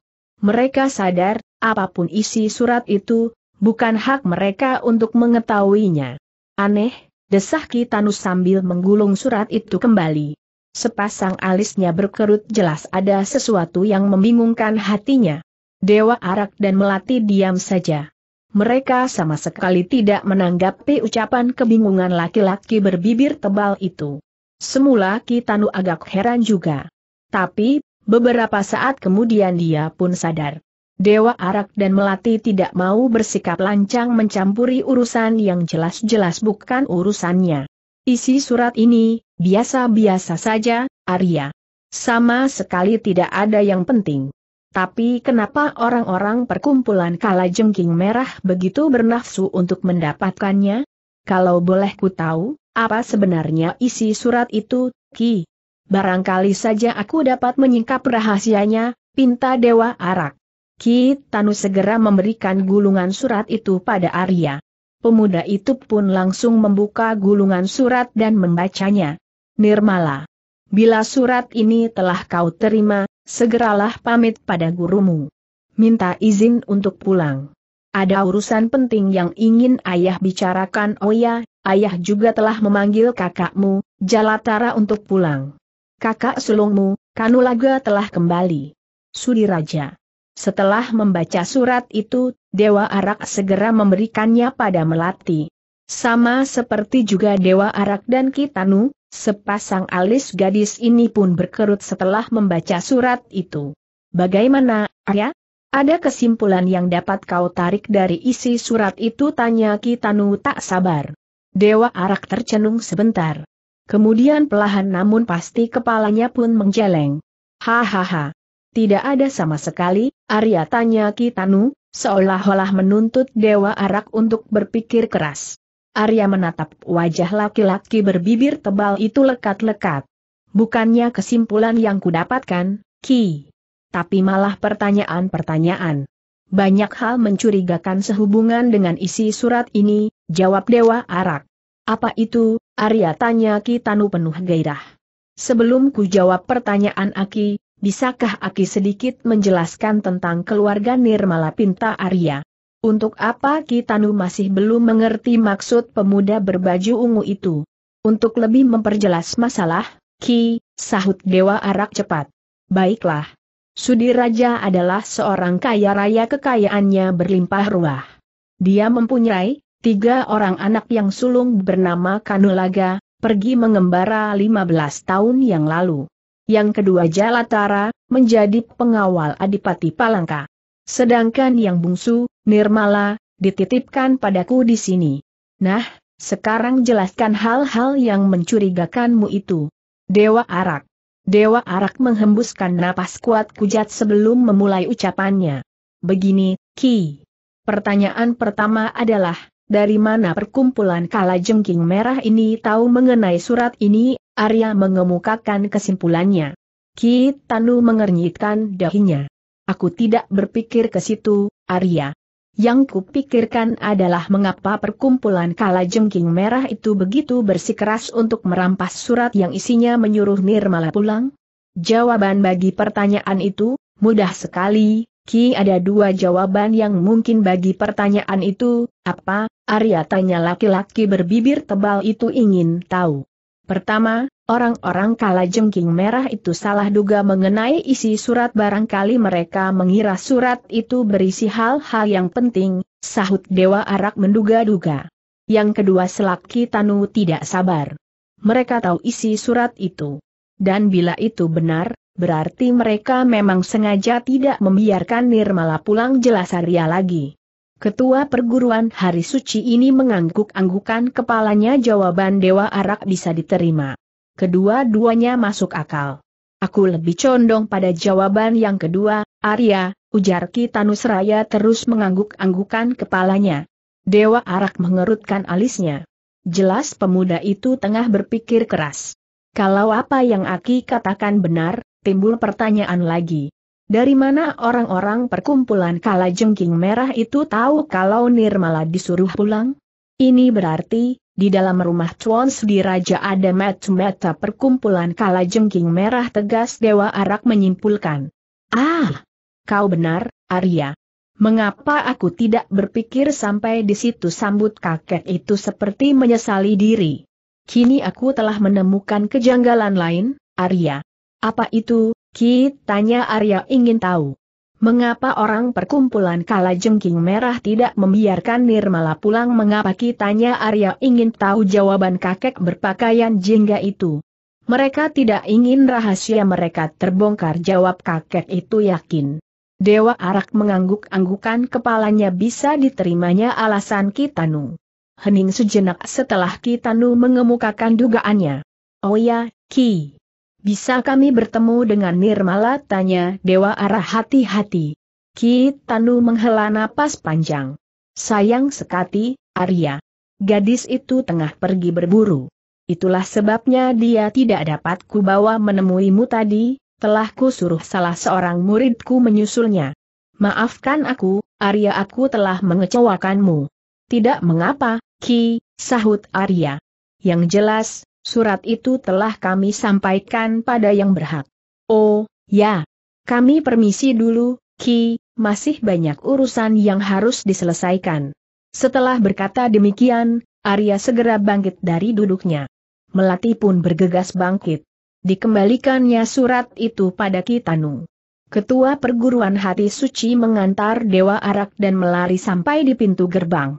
Terima kasih atas bantuan kalian, ucap Kitanu sebelum Maria dan Melati meninggalkan tempat itu.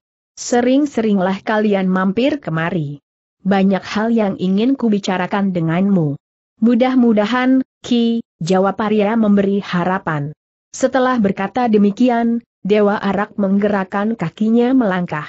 Sepertinya pemuda berambut putih keperakan ini hanya melangkah satu langkah saja. Tapi anehnya, tahu-tahu tubuhnya sudah berada puluh tombak dari tempat semula. Melati pun tidak mau kalah. Sesaat kemudian tubuhnya sudah berada di samping kekasihnya. Pemuda-pemudi yang hebat, desis Kitanu penuh kagum. Dipandanginya bayangan tubuh Dewa Arak dan Melati, sampai tubuh keduanya lenyap di telan jalan. Seekor kuda hitam yang ditunggangi seorang gadis, melangkah gagah merambah hutan. Gadis itu berwajah cantik jelita. Rambutnya digelung ke atas, pakaiannya yang merah menyala semakin menampakkan kecantikannya. Singa. Suara mendesing nyaring, mengejutkan si gadis. Seketika itu juga, kepalanya ditolehkan ke arah asal suara. Kontan sepasang matanya terbelalak ketika melihat sinar kemerahan melesat cepat ke arahnya. Gadis berpakaian merah ini sadar akan bahaya maut yang mengancam. Maka cepat dia melompat dari atas kuda. Bersalto beberapa kali di udara lalu mendarat ringan di tanah. Sehingga sinar kemerahan itu menyambar tempat kosong dan menancap di sebuah pohon. Cap, Gadis berpakaian merah itu bergidik ngeri ketika melihat nasib pohon yang tertancap sinar merah, yang ternyata adalah benda logam berbentuk ekor kala jengking berwarna merah. Pelahan namun pasti, pohon itu mulai mengering. Daun-daunnya pun layu berguguran. Gadis berpakaian merah ini menatap liar ke sekelilingnya. Namun yang nampak hanyalah kesunyian. Sepertinya hanya dia sendiri saja yang berada di dalam hutan itu. Kuda hitamnya sudah kabur ketika gadis itu melompat dari punggungnya. Rupanya naluri binatangnya yang tajam, mencium adanya bahaya mengancam. Sehingga tanpa mempedulikan tuannya lagi, kuda hitam itu melesat kabur, hahaha. Terdengar tawa bergelak menggema ke seluruh penjuru hutan. Suara tawa yang mengandung getaran tenaga dalam kuat. Gadis berpakaian merah itu memandang berkeliling dengan sikap waspada. Kedua tangannya bergerak cepat dan di lain saat, di kedua tangannya masing-masing tergenggam sebatang sumpit yang ujungnya runcirik. Tiba-tiba terdengar suara berkerosakan dari delapan penjuru. Belum lagi suara itu lenyap, tahu-tahu dari balik semak-semak dan pepohonan yang lebat, keluar belasan sosok yang kemudian mengurung si gadis.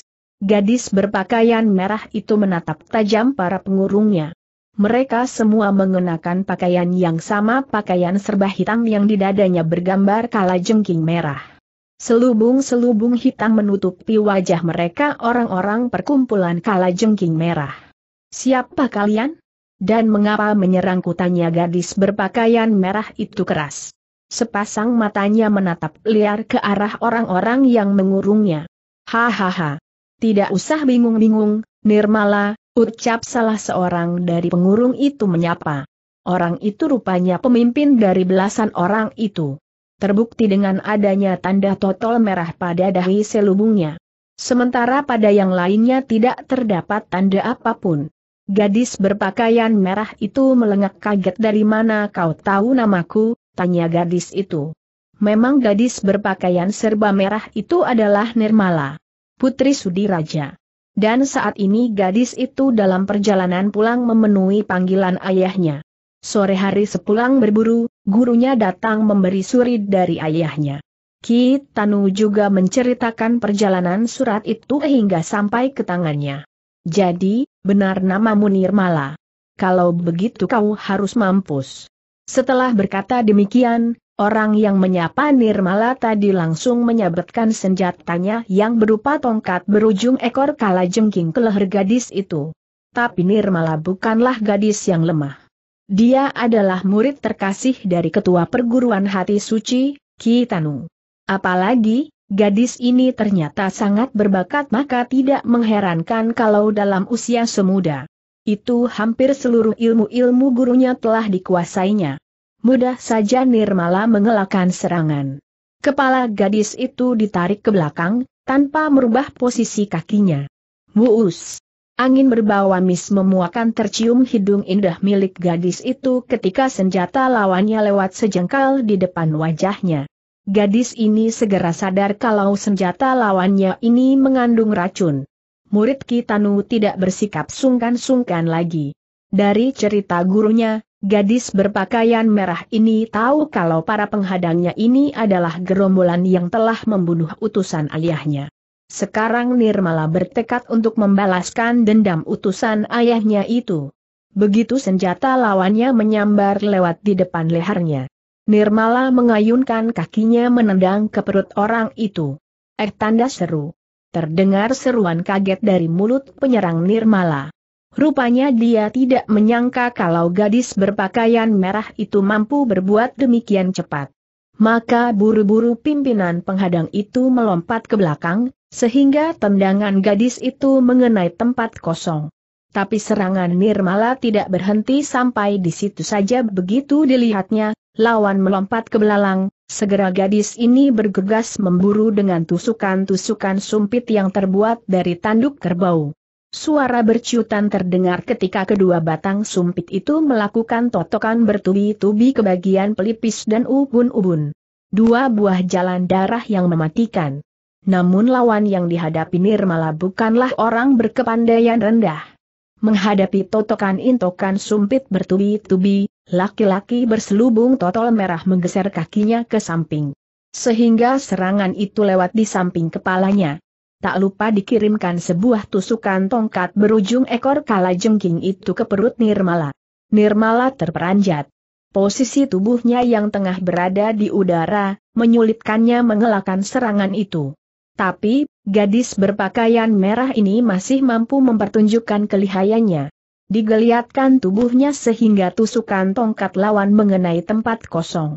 Sesaat kemudian keduanya sudah terlibat dalam pertempuran sengit. Di jurus-jurus awal, pertarungan kedua orang itu masih berlangsung imbang. Tapi memasuki jurus ke-20, Nirmala mulai mendesak lawannya. Memang gadis berpakaian merah ini lebih unggul segala-galanya, baik ilmu meringankan tubuh maupun tenaga dalam. Sudah dapat dipastikan, dalam beberapa jurus lagi Nirmala akan merobohkan lawannya. Pada jurus ke-31, dengan diiringi suara teriakan nyaring, orang berselubung itu membabatkan senjatanya ke perut Nirmala. Hih! Nirmala melompat sehingga serangan itu lewat di bawah kakinya. Dan dari atas, dengan gerakan tidak terduga-duga, kedua sumpitnya menotok bertubi-tubi ke leher lawan. Orang berselubung merah itu terkejut bukan main. Sedapat mungkin totokan itu berusaha dielakannya. Tapi sayang, tak urung salah satu totokan sumpit itu mengenai pangkal lengannya. AKH. Orang berselubung merah itu memekik kesakitan. Darah merembes keluar dari pangkal lengan yang sobek terkena ujung sumpit seketika itu juga, senjatanya terlepas dari genggaman. Belum lagi bisa berbuat sesuatu, kaki Nirmala telah terayun deras ke perutnya. Buk. AKH. Pimpinan belasan penghadang itu kembali memekik kesakitan. Tendangan gadis berpakaian merah itu telak dan keras sekali menghantam perutnya. Kontan tubuhnya terjengkang ke belakang. Rasa mual dan mules pun mendera perutnya. Hup! Ringan tanpa suara, kedua kaki gadis berpakaian serba merah itu mencejak tanah. Serbu teriak orang berselubung hitam yang telah dipecundangi Nirmala orang ini rupanya sudah tidak sanggup menghadapi Nirmala. Kini dia memberi perintah pada anak buahnya yang sejak tadi hanya menonton pertarungan untuk mengeroyok gadis itu. Serentak belasan orang berselubung hitam itu menyerbu Nirmala senjata-senjata di tangan mereka berkelebatan cepat mengarah ke tubuh gadis berpakaian merah itu dari segala arah. Kembali Nirmala mempertunjukkan kelihayannya. Tubuhnya menyelinap gesit di antara serbuan senjata lawan yang datang bagaikan hujan. Gadis berpakaian merah ini terpaksa harus mengerahkan seluruh kemampuannya. Disadarinya betul akan bahaya senjata lawan yang beracun. Terserempet sedikit saja mungkin akan berakibat maut. Nirmala mengeluh dalam hati. Pelahan-lahan murid terkasih Kitanu ini mulai terdesak. Jumlah lawan memang terlalu banyak. Apalagi di antara mereka ada si selubung hitam bertotol merah. Meskipun si selubung hitam bertotol merah itu telah berkurang kelihayannya karena luka-luka yang dideritanya, tapi tetap saja di merupakan lawan yang berbahaya. Tambahan lagi, senjata lawan-lawannya yang beracun. Membuat gadis berpakaian serba merah ini harus mengerahkan seluruh ilmu meringankan tubuh yang dimiliki. Hal inilah yang membuat Nirmala jadi cepat lelah. Ya Nirmala berteriak keras. Totokan kedua sumpit di tangannya bergerak cepat. AKHAA.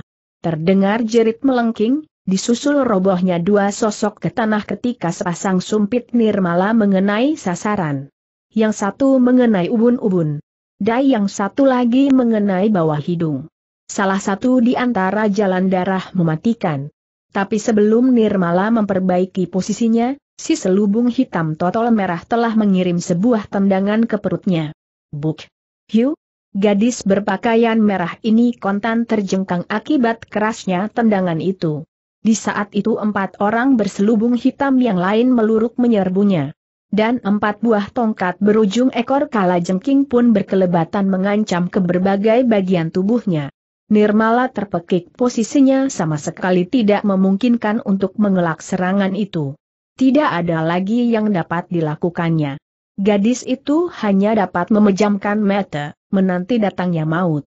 Di saat gawat bagi keselamatan gadis berpakaian merah itu, mendadak berhembus angin keras berhawa panas menyengat tangin pukulan itu langsung memapak datangnya tubuh orang-orang berselubung hitam yang meluruk ke arah Nirmala. Hus!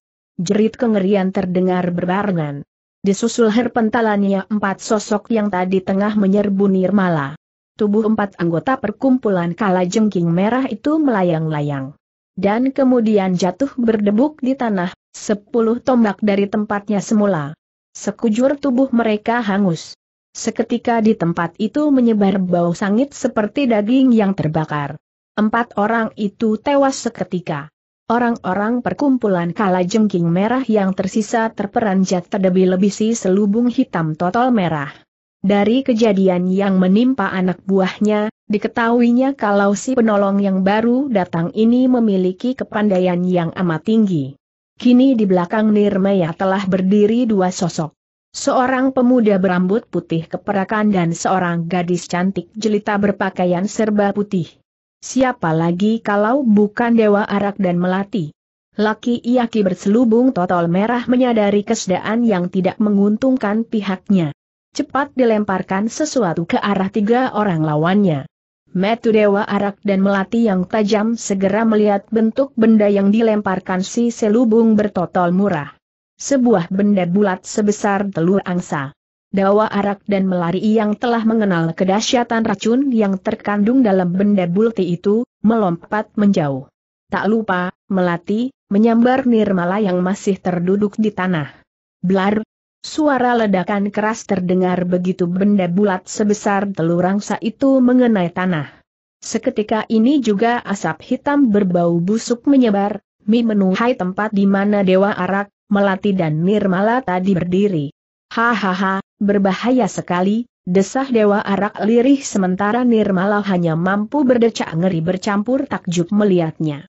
Dan seperti kejadian sebelumnya, begitu asap tebal dan hitam itu sirna, sirna pula lah orang-orang perkumpulan kala jengking merah itu. Siapa kau, Nisanak? Mengapa terlibat perkelahian dengan orang-orang itu tanya Dewa Arak sepasang matanya menatap tajam wajah cantik di hadapannya dalam hatinya, Dewa Arak mengakui kecantikan gadis berpakaian serba merah ini. Nirmala menatap Dewa Arak dan melari bergantian. Inikah orang yang menyampaikan surat ayahnya itu tanyanya dalam hati. Apa yang dikatakan gurunya memang tidak salah. Wajah pemuda yang berjuluk Dewa Arak ini begitu tampan. Tampan dan gagah. Rambutnya yang berwarna keperakan, membuat pemuda itu terlihat matang. Melati mengerutkan alisnya melihat gadis berpakaian merah itu bukannya menjawab pertanyaan kekasihnya, tapi malah menatap wajah mereka bergantian. Rasa cemburu pun menyeruak di hati gadis berpakaian serba putih ini. Kawanku bertanya padamu, Nisanak ucap Melati agak ketus. Ucapan melari yang bernada teguran itu membuat Nirmala sadar. Wajah gadis ini pun merah seketika seperti warna pakaiannya. Ah, maafkan aku, Nisanak. Kalau aku tidak salah duga, bukankah Kisanak dan Nisanak ini adalah Dewa Arak dan Melati? Dewa Arak dan Melati terjingkat bagai disengat ular berbisa. Dari mana gadis berpakaian merah ini tahu nama mereka? Tidak usah heran, guruku Teiyah bercerita banyak tentang kalian, sambung Nirmala lagi begitu melihat kedua orang di hadapannya saling pandang seperti orang kebingungan. Sepasang mata gadis berpakaian serba merah itu menatap Dewa Arak lekat-lekat. Siapa gurumu selak melatih cepat dia tidak ingin gadis berpakaian merah itu berbicara lama-lama dengan kekasihnya. Ki Tanu, sahut Nirmala memberitahu. Ki Tanu. Jadi, kau ini. Nirmala tanya Arya setengah menduga. Betul, Ken, jawab Nirmala sambil menganggukkan kepalanya. Keng desis hati melati. Ada perasaan cemburu yang menyelinap di hatinya, begitu mendengar gadis berpakaian serba merah ini memanggil Keng pada Dewa Arak. Dewa Arak mengangguk-anggukan kepalanya, pemuda ini rupanya sedang berpikir keras, sehingga tidak mempedutikan panggilan murid Kitanu ini. Kini dia mengerti mengapa gadis ini bentrok dengari orang-orang perkumpulan kala jengking merah.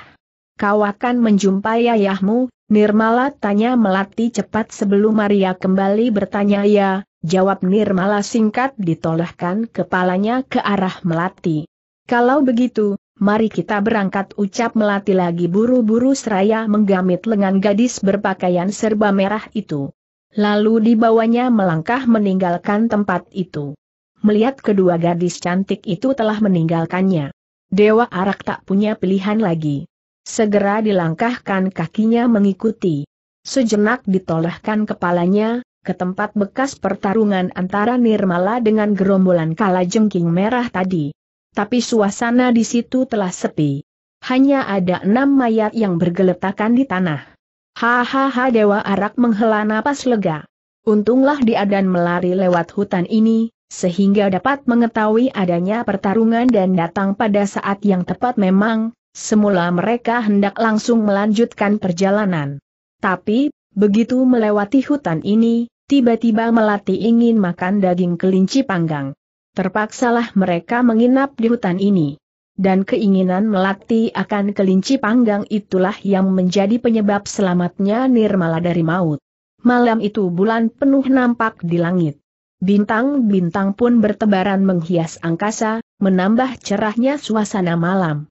Kanulaga bergolek-golek resah di pembaringan.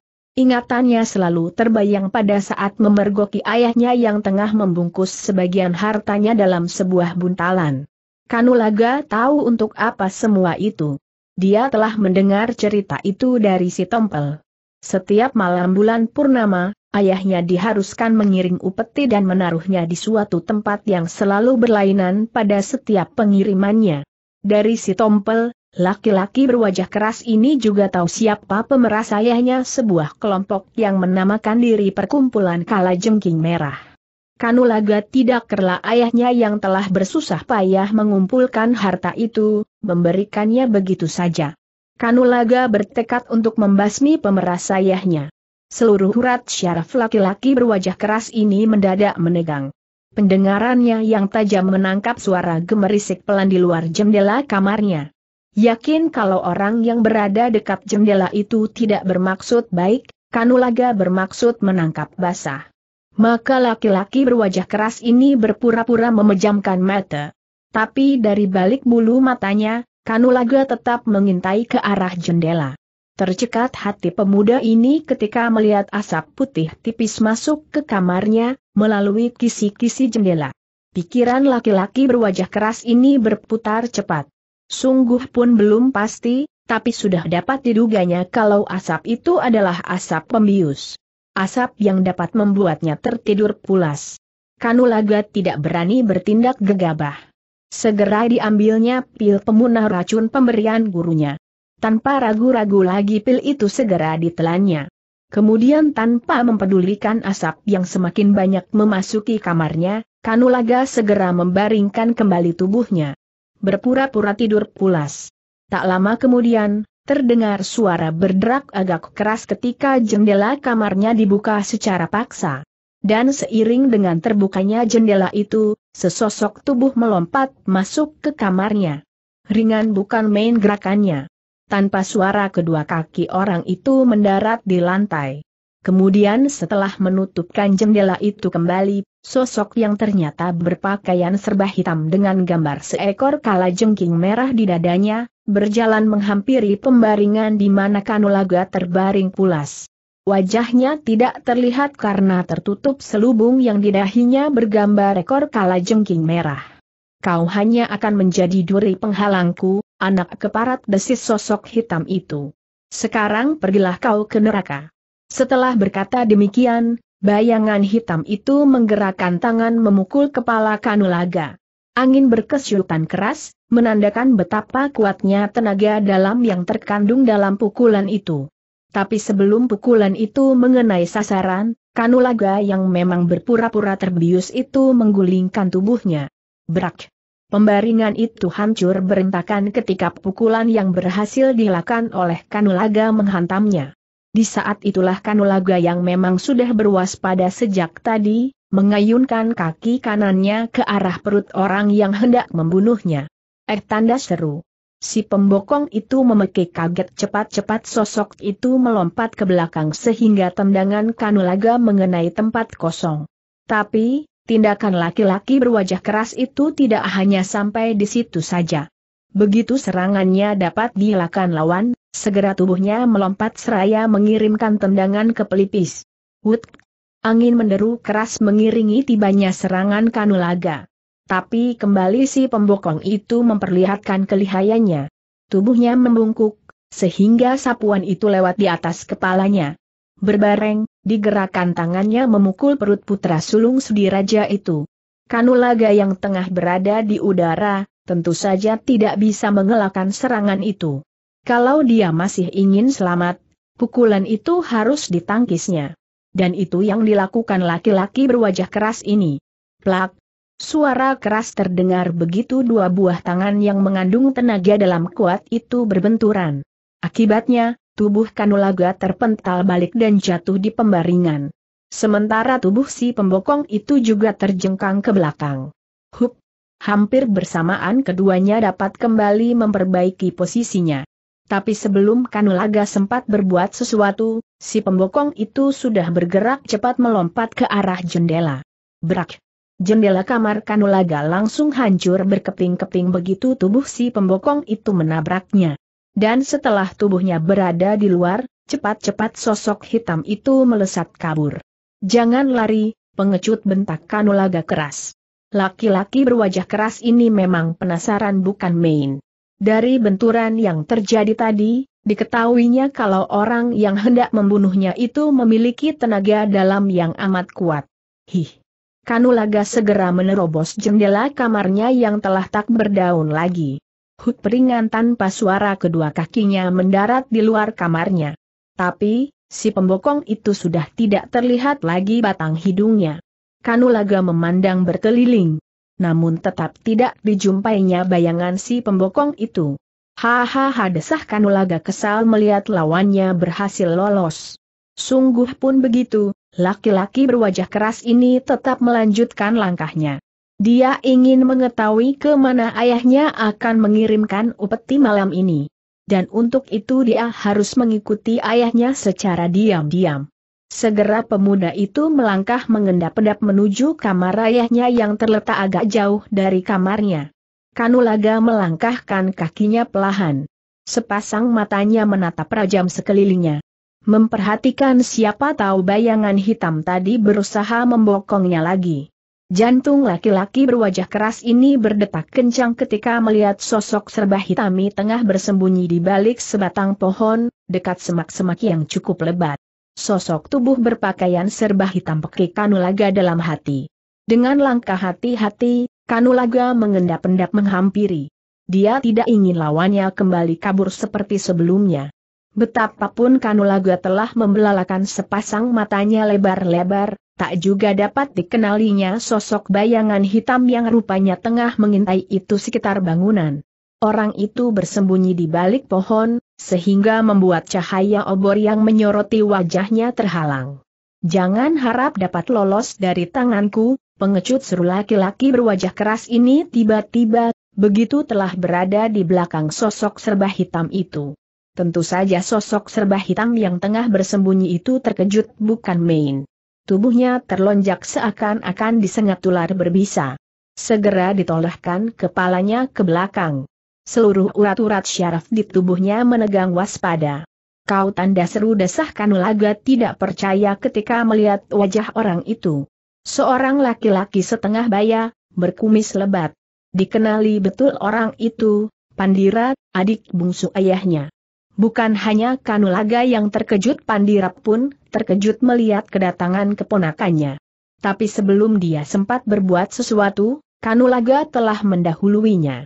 Ternyata kecurigaanku tidak keliru dingin dan datar suara Kanulaga apa maksudmu? Kanulaga tanya Pandira setengah membentak. Kanulaga tersenyum sinis. Tidak usah berpura-pura lagi, paman. Aku sudah tahu semuanya. Permainanmu telah berakhir. Lebih baik, kau menyerah. Sebelum aku terpaksa berbuat tidak pantas terhadapmu ancam Kanulaga merah wajah pria berkumis lebat ini mendengar ucapan Kanulaga yang sama sekali tidak menaruh hormat padanya. Bocah kurang ajar. Orang seperti kau sudah selayaknya diberi pelajaran. Agar tidak menyangka hanya kau yang memiliki kepandaian di kolong langit ini. Selelah berkata demikian, Pandira segera melompat menerjang keponakannya dengan sebuah totokan beruntun ke arah dada dan ulu hati. Cepat bukan main gerakannya.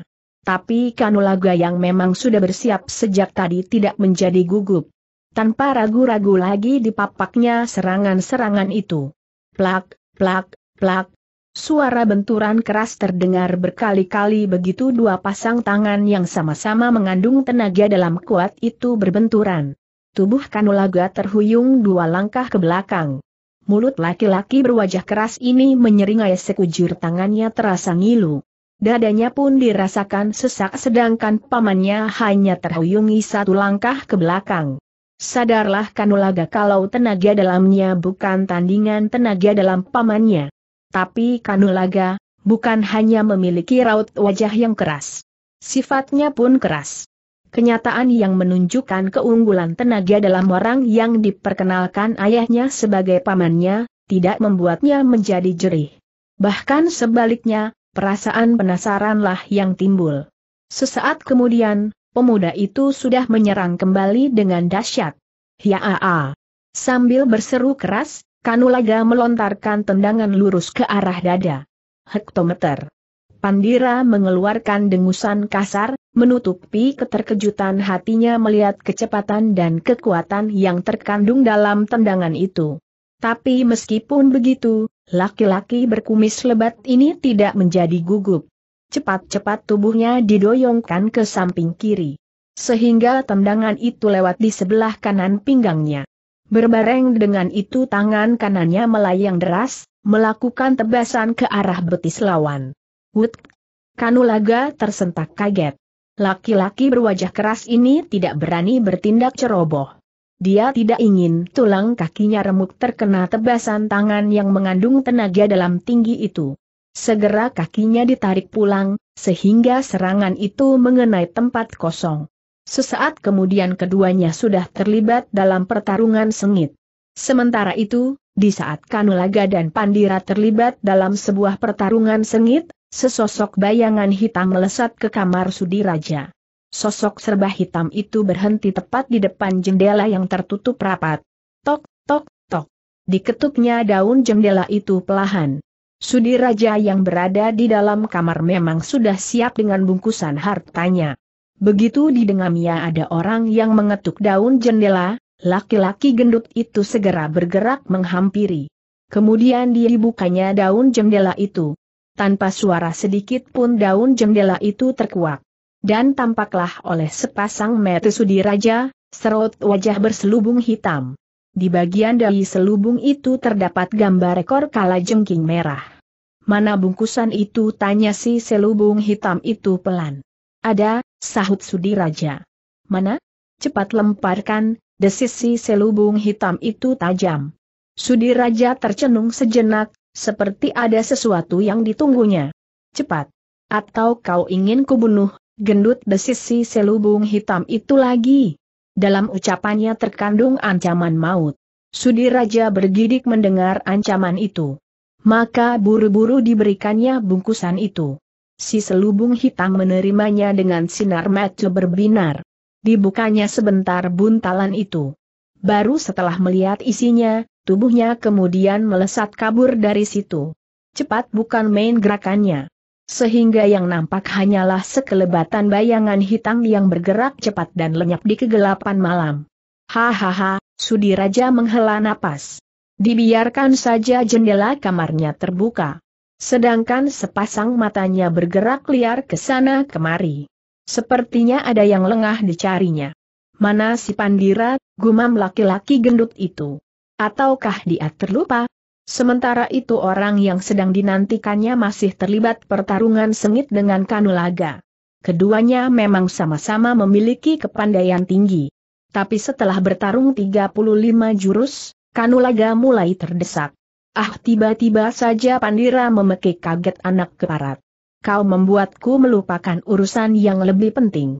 Setelah berkata demikian, Pandira melancarkan serangan beruntun ke arah Kanulaga. Tidak ada jalan lain bagi laki-laki berwajah keras itu, kecuali melempar tubuh ke belakang dan bersalto beberapa kali di udara. Hup! Ringan tanpa suara kedua kakinya hinggap di lanah, berjarak beberapa tombak dari tempat semula. Sikapnya langsung siaga. Siap menghadapi tibanya serangan usulan. Tapi Kanulaga jadi terperanjat lawan di hadapannya telah lenyap. Betapapun laki-laki berwajah keras ini mengedarkan pandangan ke sekelilingnya tetap tidak dijumpainya laki-laki berkumis lebat itu. Pengecut keparat desis Kanulaga. Kemudian setelah termenung sesaat, tubuh anak muda itu melesat cepat menuju kamar ayahnya. Suasana di sekitarnya kembali sunyi. Memang, begitulah keadaan di rumah itu pada setiap malam bulan purnama. Sudiraja selalu meliburkan semua pekerjanya. Termasuk penjaga keamanan rumahnya. Pandira berlari mengerahkan seluruh ilmu meringankan tubuh yang dimilikinya. Sehingga dalam waktu singkat, kamar Sudiraja sudah terlihat. Ah! Jangan-jangan aku terlambat, desis laki-laki berkumis lebat ini cemas. Dan perasaan cemasnya kian menjadi-jadi begitu dilihatnya daun jendela kamar Sudiraja terkuak. Hup! Begitu tiba di depan jendela itu, segera saja delongokkan kepalanya ke dalam. Sinar bulan purnama yang menembus ke kamar itu membuat Pandira dapat melihat jelas keadaan di dalam. Kakang Sudira, panggil laki-laki berkumis lebat itu. Dilihatnya seorang laki-laki berperut gendut tengah tergolek di pembaringan. Sudiraja membuka matanya menatap nyalang ke arah jendela begitu dilihatnya wajah yang telah dikenalnya, Segera laki-laki gendut itu bangkit. Bagaimana, Ken? Dia belum datang berondong Pandira begitu dilihatnya laki-laki gendut itu bangkit dari berbaringnya. Dia sudah pergi, sahut Raja pelan sekali suaranya. lebih mirip sebuah desahan. Ah, jadi aku terlambat tanya laki-laki berkumis lebat itu. Nada suaranya jelas mengandung penyesalan yang mendalam. Masuklah, Pandira, ucap Sudiraja tanpa mempedulikan kebingungan yang melanda laki-laki berpakaian serba hitam itu. Dengan langkah lunglai, Pandira melompat ke dalam kamar. Hup! Ringan tanpa suara kedua kakinya hinggap di lantai kamar Sudiraja. Duduklah, Pandira, ujar Sudiraja mempersilakan ketika dilihatnya laki-laki berkumis lebat itu berdiri saja. Tanpa banyak membantah, Pandira duduk di sebuah bangku.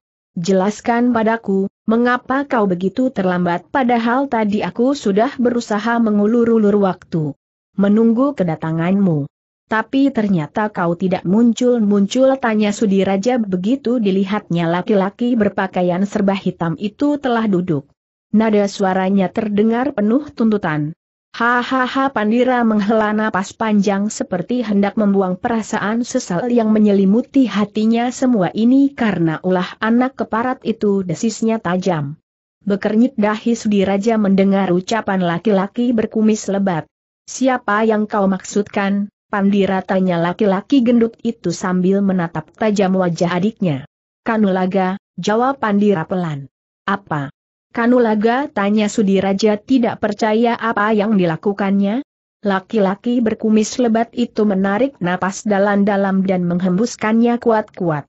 Aku tengah bersembunyi, mengintai kedatangan pemerasmu. Tapi tiba-tiba Kanulaga datang. Dan mengucapkan kata-kata yang tidak pantas aku menjadi marah dan akhirnya kami bertarung, jelas laki-laki berkumis lebat itu. Lalu, kau bunuh dia, Pandira selak Sudiraja secercah senyum sinis tersungging di bibirnya. Pandira menggelengkan kepalanya. Tidak. Sewaktu aku tengah mendesaknya, aku teringat akan tugasku. Bergegas ku tinggalkan dia. Tapi sayang aku tertambat si keparat itu telah pergi lebih dahulu. Ah! Sia-sia saja perjalananku kemari, keluh laki-laki berkumis lebat ini. Belum juga Sudiraja menimpali ucapan adik bungsunya ini, terdengar suara bentakan keras dari luar jendela. Kiranya kau berada di sini, keparat. Tanpa menoleh pun, baik Sudiraja maupun Pandira telah mengetahui orang yang telah mengeluarkan suara bentakan keras itu. Suara itu telah mereka kenal betul. Suara Kanulaga. Seiring dengan selesainya ucapan itu, dari luar jendela melesat sesosok tubuh yang kemudian mendarat ringan tanpa suara di lantai. Jaga mulutmu, Kanulaga bentak Sudiraja dengan nada keras begitu laki-laki berwajah keras itu telah berada di dalam kamarnya. Telah dilihatnya sendiri sikap putra sulungnya yang tidak pantas. Tapi, ayah, Kanulaga mencoba untuk membantah. Diam sergah Sudiraja memotong bantahan laki-laki berwajah keras itu. Wajah Kanulagami merah. Laki-laki berwajah keras ini memang memiliki sifat yang aneh. Semakin orang bersikap keras padanya, dia akan semakin keras. Bagaimana aku bisa mendiamkan orang yang hampir saja membunuhku? Itu karena kau telah bersikap kurang ajar padanya sentak laki-laki berperut gendut itu. Nada suaranya semakin meninggi bersikap kurang ajar bagaimana. Paman hendak membunuhku, di saat aku berada di kamarku sahut Kanulaga tak kalah keras. Apa? Benarkah apa yang kau ucapkan itu? Kanulaga tanya laki-laki berperut gendut itu sambil menatap tajam wajah anaknya. Cerita yang didengarnya dari adik bungsunya tidak seperti ini. Dia bohong bantah Pandira keras. Sejak tadi laki-laki berkumis lebat itu hanya terdiam saja mendengarkan semuanya dia sengaja membiarkan Sudiraja menyelesaikan masalah itu. Tapi begitu mendengar tuduhan keponakannya ini, amarahnya seketika bangkit Kanulaga melemparkan senyum sinis pada pamannya. Tentu saja hal ini semakin membuat kemarahan Pandira meledak. Anak keparat. Kau hanya mencari-cari alasan saja. Aku malah curiga, jangan-jangan kau sendiri adalah salah seorang dari gerombolan itu. Kau sengaja mengalihkan perhatianku agar kanmu itu lolos dari pengawasanku ujar laki-laki berkumis lebat ini balik menuduh. Anggota gerombolan? Mengalihkan perhatian? Apa maksudmu, Paman tanya Kanulaga tidak mengerti. Betapapun marahnya, namun laki-laki beta wajah keras ini, sebenarnya masih menghormati pamannya. Sudiraja mengerutkan alisnya. Dia melihat ada nada kesungguhan dalam cerita kedua orang ini. Bukan tidak mungkin kalau telah terjadi kesalahpahaman. Lebih baik kita selesaikan persoalan ini dengan kepala dingin. Aku khawatir ada kesalahpahaman terselip di sini, ucap laki-laki gendut ini menenangkan. Kanulaga dan Pandira terdiam. Mereka menyadari kebenaran yang terkandung dalam ucapan Sudiraja. Mengikuti perasaan amarah saja tidak akan menyelesaikan masalah, pikir mereka. Setelah melihat kedua orang itu sudah dapat ditenangkan, Sudiraja kembali membuka suara. Sekarang coba kau ceritakan kejadian yang kau alami, Kanulaga, ucap laki-laki berperut gendut itu pada anak sulungnya. Kanulaga pun menceritakan semuanya. Nah, ketika aku tengah mencari bayangan hitam itu, kulihat ada seseorang bersembunyi di balik pohon sikapnya mencurigakan sekali. Aku yakin kalau orang itulah yang tadi menyerangku. Pakaiannya sama. Aku kaget juga ketika kulihat orang itu adalah Paman Pandira. Ribut mulut tak dapat dihindari lagi. Akhirnya kami bertarung, ujar laki-laki berwajah keras ini mengakhiri ceritanya. Hahaha. Sekarang sudah jelas masalahnya. Sudah kuduga semua ini hanya salah paham saja, ucap Sudiraja dengan suara mendesah. Salah paham. Aku masih tidak mengerti, ayah, sahut Kanulaga. Nada suaranya menyimpan perasaan penasaran yang mendalam. Laki-laki berperut gendut itu termenung sejenak belum memulai ceritanya. Dipandangi wajah Pandira tajam-tajam. Bagaimana, Pandira? Tidakkah lebih baik kalau diceritakan saja tanya Sudiraja meminta pendapat laki-laki berkumis lebat itu. Pandira mengangkat bahunya. Terserah kau saja, Ken, jawab laki-laki berkumis lebat ini menyerahkan keputusan pada Sudiraja. Sebenarnya aku tidak berniat memberitahumu, Kanulaga. Tapi, agar kau tidak penasaran, terpaksa perlu ku beritahukan. Pandira ini bukanlah pamanmu. Sudah kuduga, desah Kanulaga pelan. Kau sudah tahu tanya Sudiraja setengah tak percaya. Ya, jawab Kanulaga seraya menganggukkan kepalanya. Sepengetahuanku ayah adalah anak tunggal aku menjadi curiga ketika ayah memperkenalkannya sebagai paman. Sudiraja mengangguk-anggukan kepalanya tanda mengerti. Pandira sebenarnya adalah salah seorang pengawal rahasia Adipati Palangka, sambung laki-laki berperut gendut itu lagi. Ah desah Kanulaga terkejut. Lalu, mengapa dia berada di sini dan ayah mengakui sebagai adik bungsu? Lebih baik kau tanyakan saja padanya, Kanulaga. Biar dia yang akan menjelaskannya padamu. Nah Pandira. Harap kau jelaskan pada Kanulaga Pinta Sudiraja. Pandira menghela napas panjang sebelum memulai ceritanya. Jelas tampak kalau laki-laki berkumis lebat ini merasa berat menceritakannya. Sebenarnya tugasku ini amat rahasia, Kanulaga demi keberhasilannya, sengaja aku tidak ingin seorang pun tahu. Kecuali ayahmu, ucap Pandira memulai ceritanya. Kanulaga hanya diam saja mendengarkan. Tidak diselaknya sedikit pun cerita laki-laki berkumis lebat itu. Kau pernah mendengar tentang perkumpulan kala jengking merah tanya pengawal rahasia Adipati Palangka ini tiba-tiba. Kanulaga tercenung sejenak sebelum menjawab. Pernah juga. Sewaktu aku mulai memasuki Kadipaten Palangka, kau tahu perkumpulan macam apa itu tanya Pandira lagi. Aku tidak tahu pasti. Tapi menurut berita yang ku dengar, perkumpulan kala jengking merah adalah sebuah perkumpulan jahat. Tepat. Melihat gelagatnya, perkumpulan itu sepertinya hendak meruntuhkan Kadipaten Palangka. Tapi karena perkumpulan itu sangat misterius, Gusti Adipati mengalami kesulitan untuk membasminya. Maka terpaksa Gusti Adipati mengirim beberapa orang kepercayaannya untuk menyelidiki di mana markas perkumpulan itu, Pandira menghentikan ceritanya sejenak agaknya laki-laki ini ingin melihat tanggapan Kanulaga pada ceritanya. Tapi ternyata laki-laki berwajah keras itu tidak berniat memotong ceritanya. Dari penyelidikan, kami tahu kalau perkumpulan itu membiayai usahanya dari pemerasan dan perampokan terhadap orang-orang kaya. Gusti Adipati tahu, Kakang Sudiraja memiliki kekayaan yang berlimpah. Dengan dibekali surat perintah dari Gusti Adipati aku dapat tinggal di sini. Dan agar tidak menimbulkan kecurigaan, ayahmu memperkenalkanku sebagai adik bungsunya. Tapi sayang, usahaku gagal keluh laki-laki berkumis lebat ini. Tapi, kenapa ayah merahasiakan hal ini padaku? Tanya Kanulaga bernada penasaran seraya menoleh pada ayahnya. Aku yang melarang ayahmu memberitahukan kepada siapa pun. Maksudku untuk mencegah bocornya rencana ini. Aku khawatir kalau ada anggota gerombolan itu yang menyusup dalam rumah ini. Maaf, bukannya aku menuduh. Tapi, yah, hanya berjaga-jaga saja, jelas pandera panjang lebar. Lalu sekarang, bagaimana baiknya? Pandira tanya Sudiraja Seraya menatap wajah laki-laki berkumis lebat itu. Hahaha pengawal rahasia Adipati Palangka itu menghela napas panjang. Mungkin aku akan kembali ke Kadipaten, melaporkan kegagalan tugasku.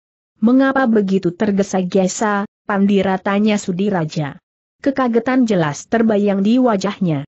Tinggallah barang satu atau dua hari lagi barangkali orang itu muncul lagi. Pandira tercenung sejenak. Baiklah, Kakang Sudiraja. Aku akan tinggal dua hari lagi di sini. Maafkan atas kebodohanku yang membuat Paman gagal menjalankan tugas Gusti Adipati, ucap Kanulaga tiba-tiba seraya mengulurkan tangan meminta maaf. Pandira tersenyum. Lupakanlah, Kanulaga. Kau tidak salah, jawab laki-laki berpakaian serba hitam ini bijaksana. Disambutnya uluran tangan Kanulaga dan digenggamnya rat-rat Sudiraja hanya tersenyum menyaksikan kejadian itu. Hari masih pagi, matahari pun baru saja muncul di ufuk timur, ketika tiga sosok tubuh melangkah pelahan mendekati pintu gerbang bangunan mewah dan megah milik Sudiraja.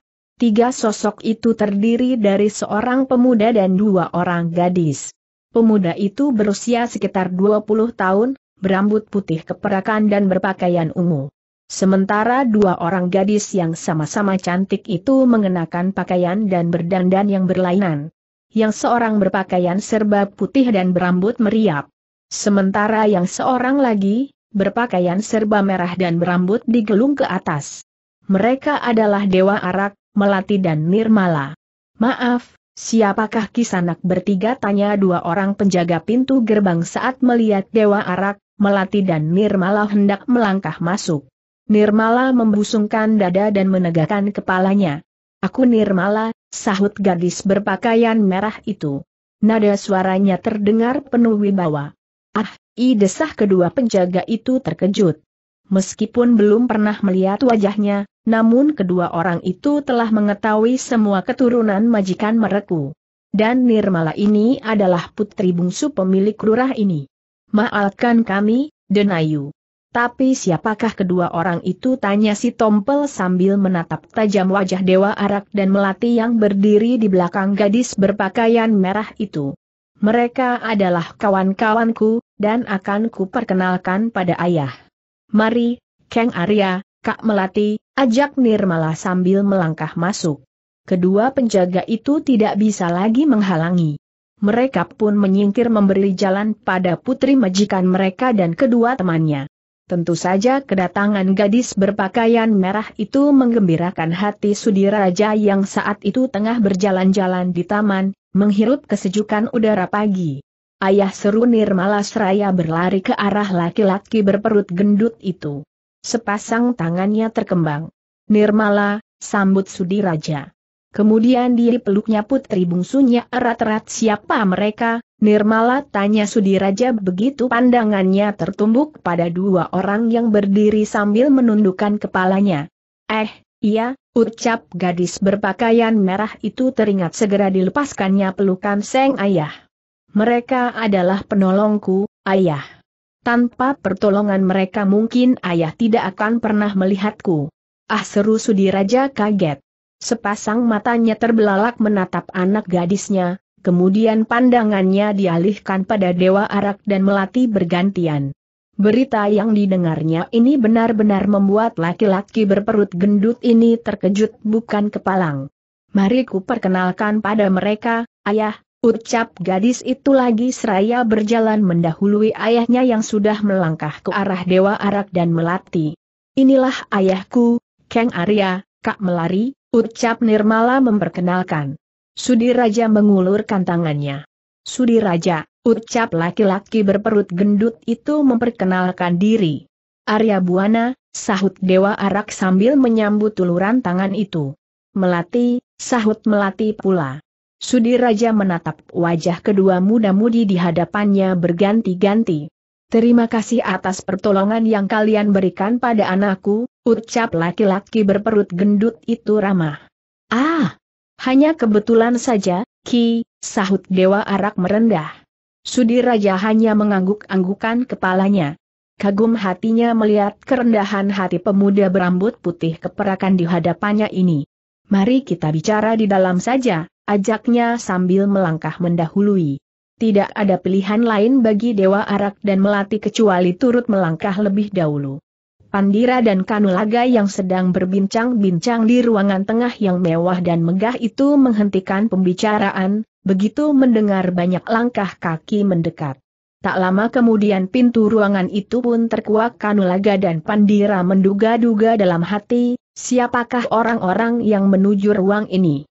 Bukankah ruang ini khusus untuk Sudiraja? Semula Kanulaga dan Pandira tidak heran begitu melihat orang yang pertama kali muncul. Tapi sepasang alis mereka berkerut ketika melihat seorang gadis cantik berpakaian serba merah, melangkah di belakang laki-laki berperut gendut itu. Wajar apabila Kanulaga sama sekali tidak mengenal Nirmala. Gadis berpakaian serba merah ini belum berumur lima tahun ketika laki-laki berwajah keras ini pergi mengembara. Pandira saja mengagumi kecantikan Nirmala, apalagi Kanulaga yang masih muda dan berdarah panas.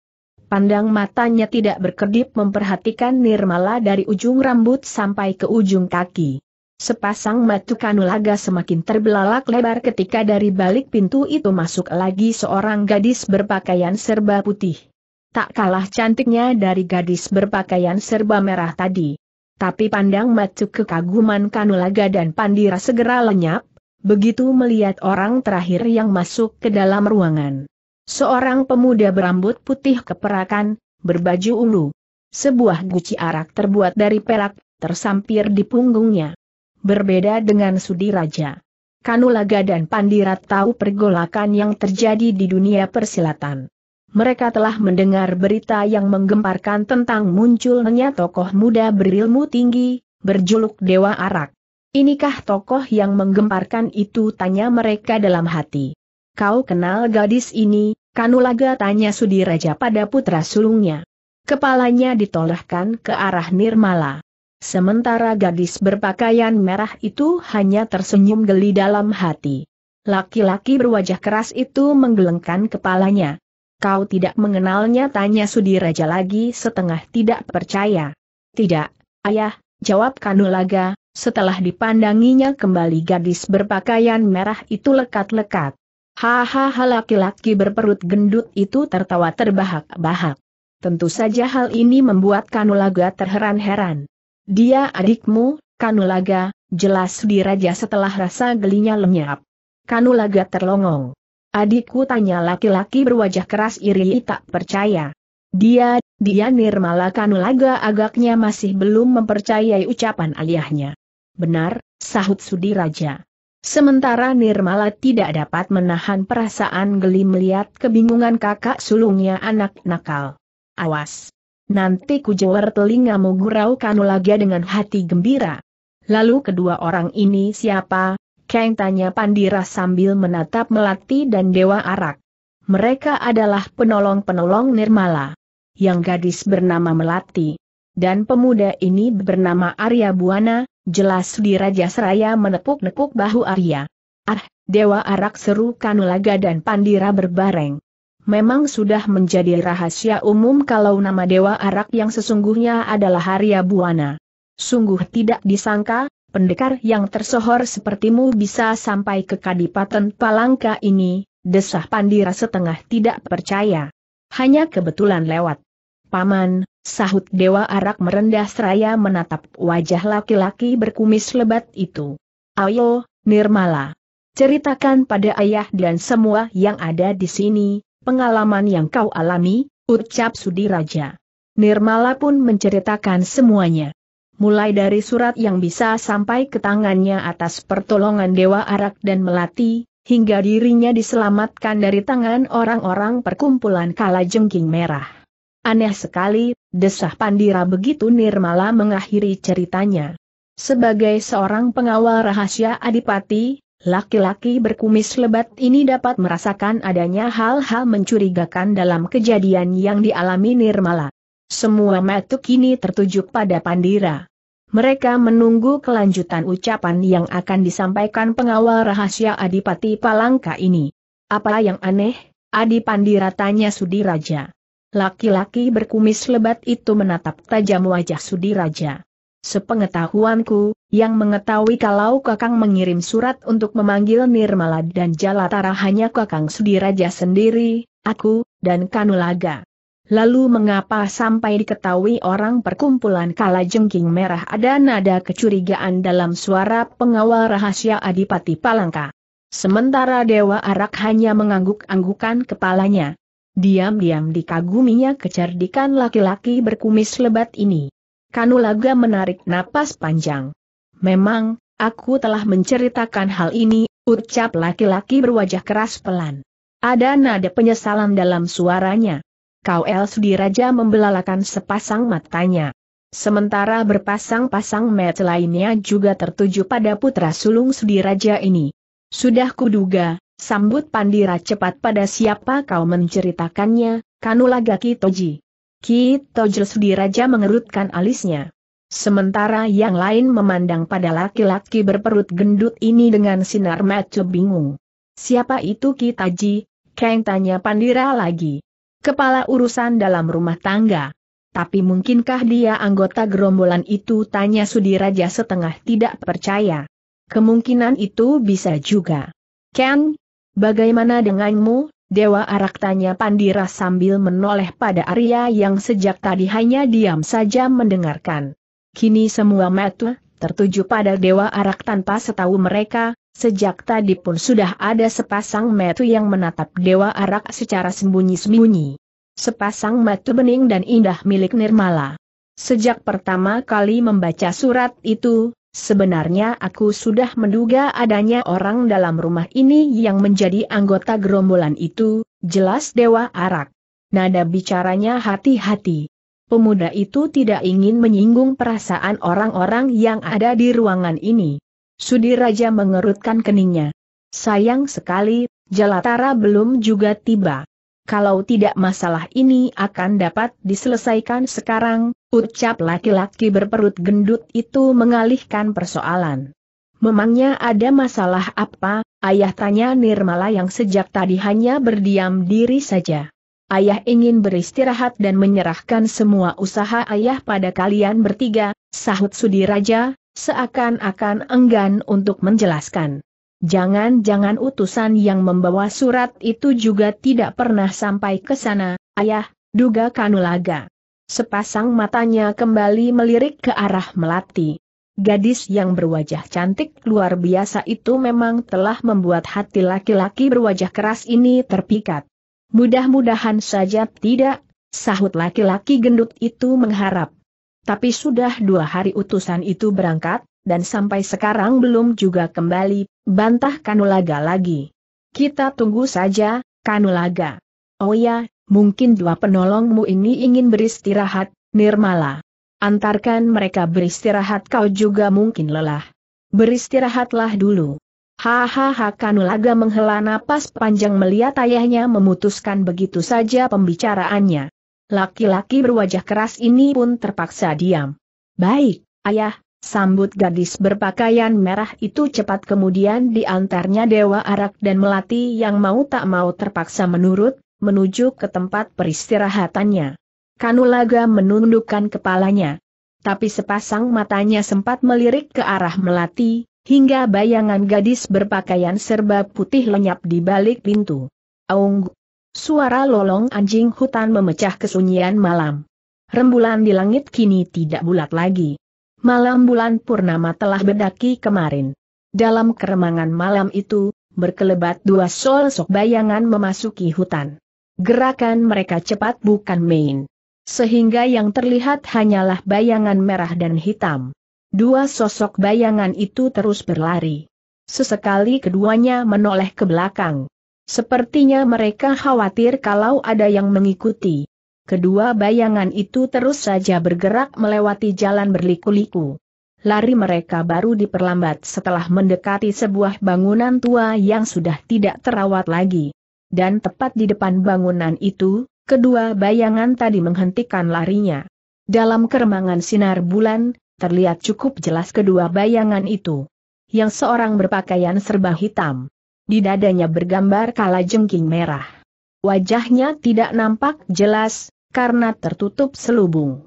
Pada dahi selubungnya terdapat gambar kala jengking merah. Sementara yang seorang lagi adalah seorang kakek berkulit merah. Kakek berkulit merah ini mengenakan rompi yang juga berwarna merah. Pada bagian dahi dan dadanya, terdapat gambar kala jengking merah. Berbeda dengan rekannya, gambar kala jengking pada kakek berkulit merah ini tertera pada kulitnya, bukan pada pakaian atau selubungnya. Baru saja kedua orang ini melangkah masuk, Terdengar suara sapaan penuh hormat-hormat kami untuk ketua sosok berselubung hitam yang di dahi selubungnya bergambar kala jengking, menoleh ke arah asal suara. Rupanya orang ini adalah ketua perkumpulan kala jengking merah. Kini di hadapan ketua perkumpulan kala jengking merah, telah berdiri dua sosok yang tengah menjura padanya kedua orang itu mengenakan seragam yang sama pakaian serba hitam yang di dadanya bergambar kala jengking berwarna merah. Yang membedakan kedua orang itu adalah pada kedua selubung wajahnya memang mereka sama-sama mengenakan selubung hitam. Tapi pada dahi selubungnya, tertera gambar yang berlainan. Pada yang seorang terdapat totol merah. Sementara pada yang lain, bergambar ekor kala jengking merah. Memang, perkumpulan kala jengking merah mempunyai aturan tersendiri. Tanda tingkatan seseorang dalam perkumpulan itu dapat diketahui dengan melihat tanda pada dahi selubungnya tanda kala jengking merah menunjukkan kalau orang itu adalah Seng Ketua. Tanda ekor kala jengking, menunjukkan wakil ketua. Tanda totol merah menunjukkan ketua kelompok. Sementara anggota biasa sama sekali tidak mempunyai tanda. Bagaimana usaha kalian? Berhasil tanya saya ketua. Maafkan kami, Ketua, jawab kedua orang itu berbareng. Jadi, kalian gagal sergah ketua perkumpulan kala jengking merah agak keras. Sementara kakek berkulit merah itu hanya berdiam diri saja. Benar, ketua, jawab kedua orang itu lagi. Hahaha. Tolol. Membunuh dua tikus kecil saja tidak mampu. Haruskah aku yang turun tangan sendiri bentak sang ketua gusar? Kau tunjuk Seng pemimpin pada orang yang di dahi selubungnya bergambar rekor kala jengking, wakil ketua perkumpulan kala jengking merah. Ya, ketua, sahut si selubung bergambar rekor kala jengking cepat jelaskan mengapa kau gagal. Hanya membunuh orang seperti Kanulaga saja tidak becus Seng ketua kembali membentak. Pemuda itu memiliki kepandaian tinggi, ketua. Yang membuatku tambah repot lagi di situ ada Pandira, Jawab si selubung bergambar ekor kala jengking. Kemudian diceritakan kejadian yang dialaminya. Pandira? Apakah orang yang selalu berpakaian serba hitam dan memiliki kumis lebat itu tanya Seng Ketua. Nada keterkejutan jelas terlihat pada wajahnya. Benar, Ketua. Ketua mengenalnya tanya si selubung bergambar ekor kala jengking. Seng pemimpin itu mengangguk-anggukan kepalanya. Dia adalah salah seorang pengawal rahasia Adipati Palangka, ah serwakil ketua perkumpulan kala jengking merah itu terkejut lalu, untuk apa dia di sana, ketua Adipati Palangka sudah mencium adanya gerakan kita. Pada saat ini Adipati Palangka sudah menyebar pengawal-pengawal rahasianya untuk menyelidiki perkumpulan kita. Sungguh tidak kusangka kalau Pandira bisa sampai ke sana, desah Seng Ketua. Kalau menurutku, Sudiraja telah bekerja sama dengan Pandira, Ketua, ucap si wakil itu lagi. Mengapa kau bisa menduga begitu tanya Seng Ketua. Sewaktu aku datang meminta upeti, kulihat Sudiraja seperti sengaja mengulur-ulur waktu. Sepertinya ada sesuatu yang ditunggunya. Kalau tidak mengingat pesan ketua, sudah kubunuh dia. Kau bertindak bodoh kalau membunuhnya sergah Seng ketua keras. Kalau kau lakukan itu, sama saja kau menghancurkan apa yang kita cita-citakan selama ini. Menguasai Kadipaten Palangka. Dan kemudian merebut kerajaan. Ada yang membuatku heran, ketua, ucap orang yang di dahinya bergambar ekor kala jengking lagi. Apa itu mengapa ketua tidak membunuh adipati itu saja? Bukankah dengan kedudukan ketua sekarang ini, tidak sulit untuk membunuh adipati itu? Apa yang kau katakan itu benar. Tapi, untuk apa membunuh adipati itu kalau akhirnya aku tidak bisa menggantikan kedudukannya? Lagi pula raja tidak akan tinggal diam. Beliau pasti akan mengirimkan pasukan besar untuk menghancurkan kita. Tapi yang jelas, rencanaku hampir sampai di puncaknya. Sayang sekali Kailan gagal membunuh Kanulaga dan Nirmala rencanaku terpaksa berubah ucap Seng ketua yang lebar. Setelah berkata demikian, ketua perkumpulan kala jengking merah ini terdiam. Sesaat lamanya diberbuat seperti itu. Baru kemudian perhatiannya diarahkan pada si selubung totol merah. Kau, mengapa gagal membunuh Nirmala? Padahal 12 anggota perkumpulan telah kuberikan untuk membantumu tanya Seng Ketua meminta penjelasan. Maafkan aku, Ketua. Sebetulnya kami sudah hampir berhasil membunuh gadis itu, ucap si selubung totol merah. Lalu, kenapa gagal sergah Seng Ketua keras? Ada orang yang menolongnya, Ketua sahut si selubung totol merah. Hektometer, siapa orangnya tanya Seng Ketua agak terkejut. Aku tidak mengenalnya, ketua. Tapi kepandaiannya tinggi sekali. Hanya dengan angin pukulannya saja, dia bisa menewaskan empat anggota kita sekaligus. Mereka tewas seketika dengan tubuh hangus. Seng ketua terdiam mendengar penjelasan si totol merah. Sementara kakek berkulit merah tercenung. Bagaimana ciri-ciri orang sok jagoan itu tanya Seng ketua lagi. Si selubung bertotol merah terdiam sejenak. Rupanya dia sedang berusaha mengingat-ingat wajah penolong Nirmala. NGGG, pemuda berambut keperakan, berpakaian ungu. Di punggungnya tergantung sebuah guci arak, dewa arak potong kakek berkulit merah keras. Ada nada keterkejutan yang amat sangat pada wajahnya. Dewa arak tanda seru sentak seng ketua terkejut mendengar ucapan kakek kulit merah itu. Benarkah orang itu dewa arak yang menggemparkan itu? Guru tanyanya pada kakek berkulit merah. Kakek berkulit merah, yang ternyata guru Seng ketua perkumpulan kala jengking merah itu menganggukkan kepalanya. Kalau ciri-ciri yang disebutnya benar, sudah pasti pemuda itu adalah dewa arak.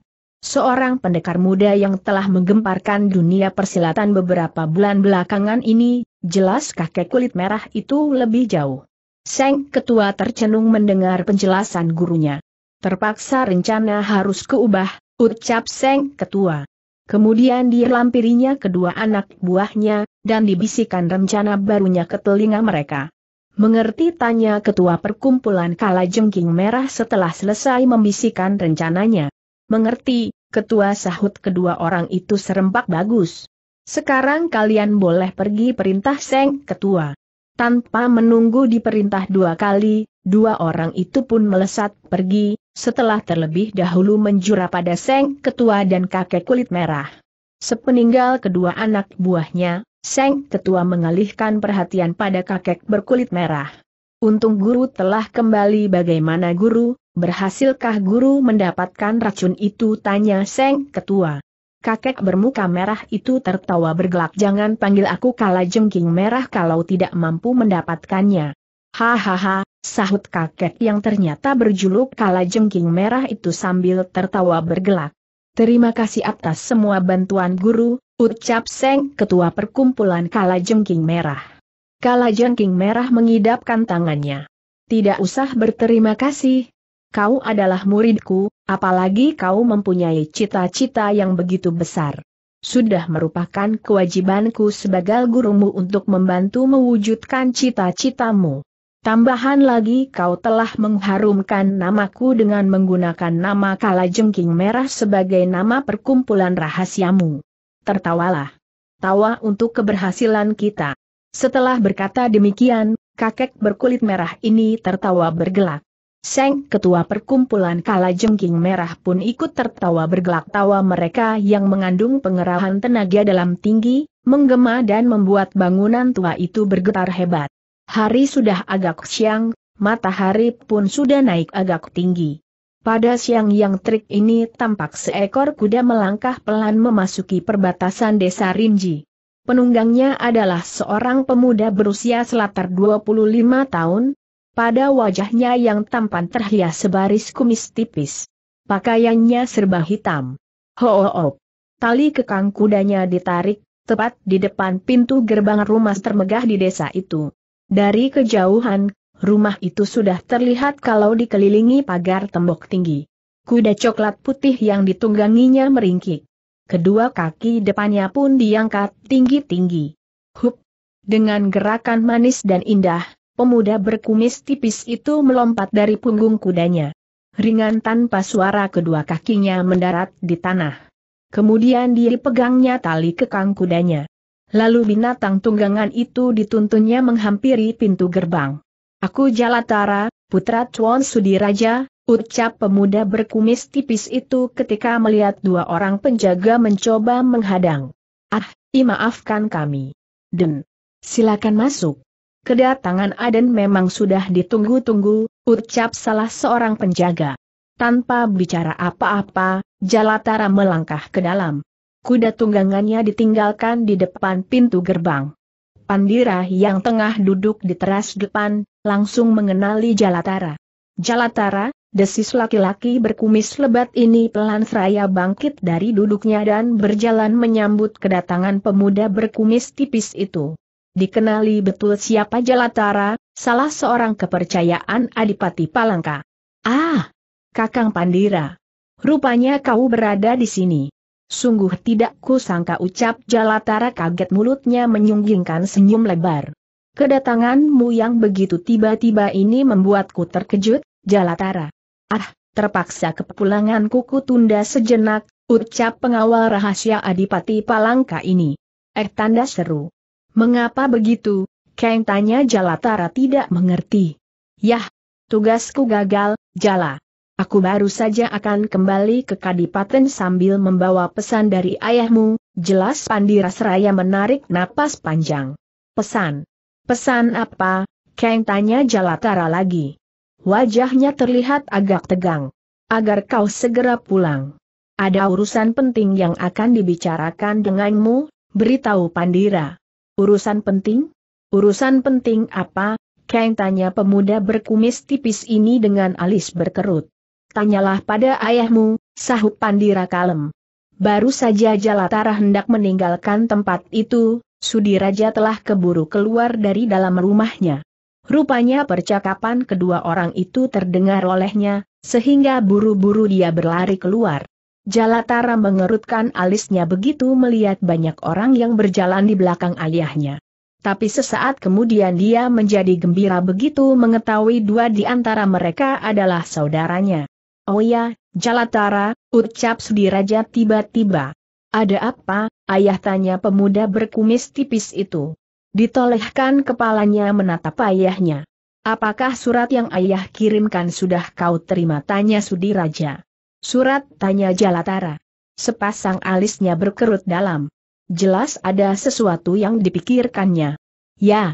Surat sahut Sudiraja menegaskan. Kau terima. Tidak sahut Jalatara seraya menggelengkan kepalanya. Kapan ayah mengirimkannya? Beberapa hari yang lalu. Hahaha. Kukira kau datang kemari karena surat itu telah kau terima, kemudian Sudiraja menceritakan perjalanan surat yang dikirimkan untuk Nirmala. Tidak, ayah. Aku sama sekali tidak menerima sepucuk surat pun. Aku kemari karena rindu pada ayah. Sudiraja tersenyum lebar. Kalau begitu, lupakan saja persoalan itu. Sekarang mari kita rayakan berkumpulnya seluruh keluarga kita dengan minum-minum. Teriak Sudiraja penuh raa gembira. Biarlah hari ini aku yang menjadi pelayannya, ayah, pinta Jalatara. Tawa Sudiraja terhenti. Tidak, Jala. Kau baru saja tiba dari perjalanan yang jauh. Kau masih capek bantah laki-laki berperut gendut ini. Pemuda berkumis tipis itu tersenyum. Tadi, memang aku lelah, ayah. Tapi setelah bertemu dengan ayah, kakang Kanulaga dan adik Nirmala, rasa lelahku langsung sirna. Percayalah, ayah. Aku sudah tidak lelah lagi. Kalau begitu, terserah kaulah, sahut Sudiraja mengalah. Tanpa sepengetahuan mereka, sesosok bayangan merah berkelebat melompati pagar tembok rumah Sudiraja yang tinggi itu. Ringan tanpa suara kedua kakinya menjejak tanah. Lalu cepat bayangan itu menyelinap di balik kerimbunan pohon. Keluarga Sudiraja, Pandira, Dewa Arak dan Melati memasuki ruang tengah. Sudiraja berjalan paling depan. Dengan gembira laki-laki berperut gendut ini mengajak semuanya ke dalam ruangan tengah yang mewah dan megah. Tiba-tiba Melati merandek kaget dia mendengar suara bisikan halus di telinganya. Suara itu dikenalnya betul suara kekasihnya, Dewa Arak. Masukkan benda pemberian Gusti Prabu Nalanda dalam minumanmu nanti, Melati. Ada apa, Kak Melati tanya Nirmala, begitu dilihatnya Melati menghentikan langkahnya. Nirmala dan yang lain-lainnya memang tidak mendengar ucapan itu. Dengan kepandaian yang dimilikinya, tidak sulit bagi Dewa Arak untuk mengirimkan suara kepada orang yang dikehendakinya. Tidak ada apa-apa, malah, sahut melati cepat. Nirmala pun terdiam. Apalagi setelah dilihatnya gadis berpakaian serba putih itu sudah kembali melangkah. Tak diketahuinya kalau pikiran melati berputar keras. Gadis itu memang telah menceritakan pada Dewa Arak bahwa semenjak dia diangkat anak oleh Prabu Nalanda, Raja Kerajaan Bojong Gading itu memberikan pusaka istana padanya. Pusaka itu berbentuk bulat kecil, sebesar kelereng dan berwarna bening. Apabila benda itu dimasukkan dalam minuman yang diduga mengandung racun, benda pusaka itu akan berubah warna. Setelah racun itu terserap habis oleh pusaka itu, maka benda pusaka itu akan kembali ke warna asalnya. Tak lama kemudian mereka pun sudah tiba di ruang tengah yang mewah dan megah. Mereka duduk di bangku yang mengelilingi sebuah meja marmer panjang. Sementara Jalatara sibuk menyiapkan minuman. Sudiraja adalah seorang kaya raya, tidak aneh kalau dia memiliki persediaan arak yang berlimpah. Semua itu disimpannya dalam sebuah ruang khusus di sebelah ruangan tengah ini. Pemuda berkumis tapis itu mengambil satu di antara sekian banyak guci arak yang berjejer. Tanpa sepengetahuan siapa pun, diambilnya sebuah bungkusan dari balik lipatan ikat pinggangnya. Dibukanya bungkusan yang ternyata berisi bubuk putih, kemudian dimasukkannya ke dalam guci arak itu. Setelah itu, Jalatara kembali ke ruang tengah. Dituangkannya arak itu ke dalam gelas-gelas indah yang berjejer di atas meja. Setelah selesai mengisi gelas-gelas yang berada di meja, Jalatara pun duduk di bangku yang masih kosong. Sementara itu, diam-diam melatimi masukkan benda bulat berang sebesar kelereng pemberian Prabu Nalanda, ke dalam gelasnya. Dapat dibayangkan betapa kagetnya gadis ini ketika melihat benda bulat bening itu berubah warna. Melati mengerutkan alisnya. Gadis itu tahu kalau pusaka pemberian Prabu Nalanda itu tengah menghisap racun yang terkandung dalam minuman itu. Dan memang tak lama kemudian, warna benda itu kembali seperti semula. Bening. Sudiraja mengangkat gelas minumannya. Mari kita rayakan peristiwa besar ini ucap laki-laki bertubuh gemuk itu. Kemudian didekatkan gelasnya itu ke mulutnya dan diminumnya. Jalatara pun mengikuti, diteguknya araknya. Tapi ekor mata pemuda itu melirik ke orang-orang di sekelilingnya. Pemuda itu mengerutkan alisnya saat melihat Dewa Arak sama sekali belum menyentuh minumannya. Rupanya Arya tahu kalau arak di gelasnya mengandung racun. Ketika Sudiraja mengangkat gelas tadi, pemuda ini sempat melihat benda pusaka melati berubah warna. Maaf, Chuan Sudiraja. Aku sudah terbiasa minum melalui guci. Bagaimana kalau aku minum arak dalam guciku saja pinta Dewa Arak? Jantung Jalatara berdebar tegang. Otaknya berputar keras. Sebelum ayahnya sempat menjawab pertanyaan Arya, buru-buru dia mendahului. Cepat diambil guci arak yang sebagian isinya sudah dibagi-bagikan. Dewa arak diam-diam memaki kecerdikan pemuda berkumis tipis itu. Tapi, bukan Arya Buana namanya kalau menghadapi orang seperti itu saja kehilangan akal. Sayang sekali, Kang Jalatara. Aku sudah terbiasa minum arak dari guciku sendiri. Boleh aku tuang arak dalam guci ini ke dalam guciku silakan. Silakan, Arya. Jangankan hanya seguci. Seratus guci pun akan kuberikan kalau kau mau Sudiraja yang menyahuti. Terima kasih, Chuan Sudiraja. Setelah berkata demikian, Dewa Arak segera menuangkan arak dalam guci itu ke dalam gucinya. Memang, guci arak pemuda itu memiliki banyak keistimewaan. Salah satunya adalah mampu membuat semua jenis racun jadi tawar. Maka, meskipun diketahuinya kalau minuman yang disediakan Jalatara mengandung racun, Dewa Arak tetap berani meminumnya. Gluk, gluk, gluk. Terdengar suara tegukan ketika arak itu memasuki tenggorokannya. Lega hati Jalatara, Ketika dilihatnya semua yang ada di situ telah minum arak yang disediakannya, dia sendiri telah lebih dulu menelan obat penawar racun itu, sehingga berani meminumnya. Rupanya racun yang dicampurkan dalam minuman itu tergolong racun yang bereaksi cepat. Sudiraja adalah orang pertama yang menerima akibatnya. Ah, kok kepalaku pusing, desah laki-laki berperut gendut ini sambil memegangi kepalanya suaranya mengambang, seperti orang pilek. Nirmala dan Kanulaga tidak terkejut melihat kejadian yang dialami ayahnya. Dugaan mereka, hal itu terjadi karena usia ayah mereka yang sudah tua. Baru ketika tubuh Sudiraja limbung dan sudah pasti jatuh, keadaan menjadi gempar. Untunglah Kanulaga yang duduk di sebelahnya, sigap menangkap tubuh ayahnya. Serentak mereka bangkit dari duduk dan mendekati Sudiraja. Tapi sebelum berhasil mendekat, berturut-turut mereka memegang kepalanya yang tiba-tiba mendadak pusing. Melati dan Dewa Arak tentu saja merupakan kekecualian. Melati bingung, tak tahu harus berbuat apa. Diliriknya wajah Dewa Arak. Dan di saat itulah, pendengarannya menangkap suara bisikan halus berpura-puralah, Melati.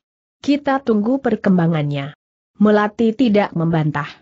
Begitu dilihat Arya memegangi kepalanya, gadis itu pun berpura-pura memegangi kepalanya, bersikap seolah-olah terserang pusing.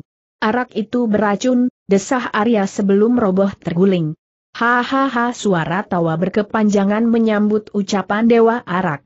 Sebuah tawa kemenangan. Tawa yang berasal dari mulut Jalatara. Begitu melihat yang lain pingsan, Dewa Arak dan Melati pun turut berpura-pura pingsan. Tidak sulit bagi dua orang sakti ini untuk berbuat seperti itu jangankan hanya berpura-pura pingsan, berpura-pura mati pun mereka sanggup. Baru ketika pendengaran mereka menangkap suara keluhan lirih dari Kanulaga dan Pandira yang mulai sadar, Dewa Arak dan Melati pun membuka matanya.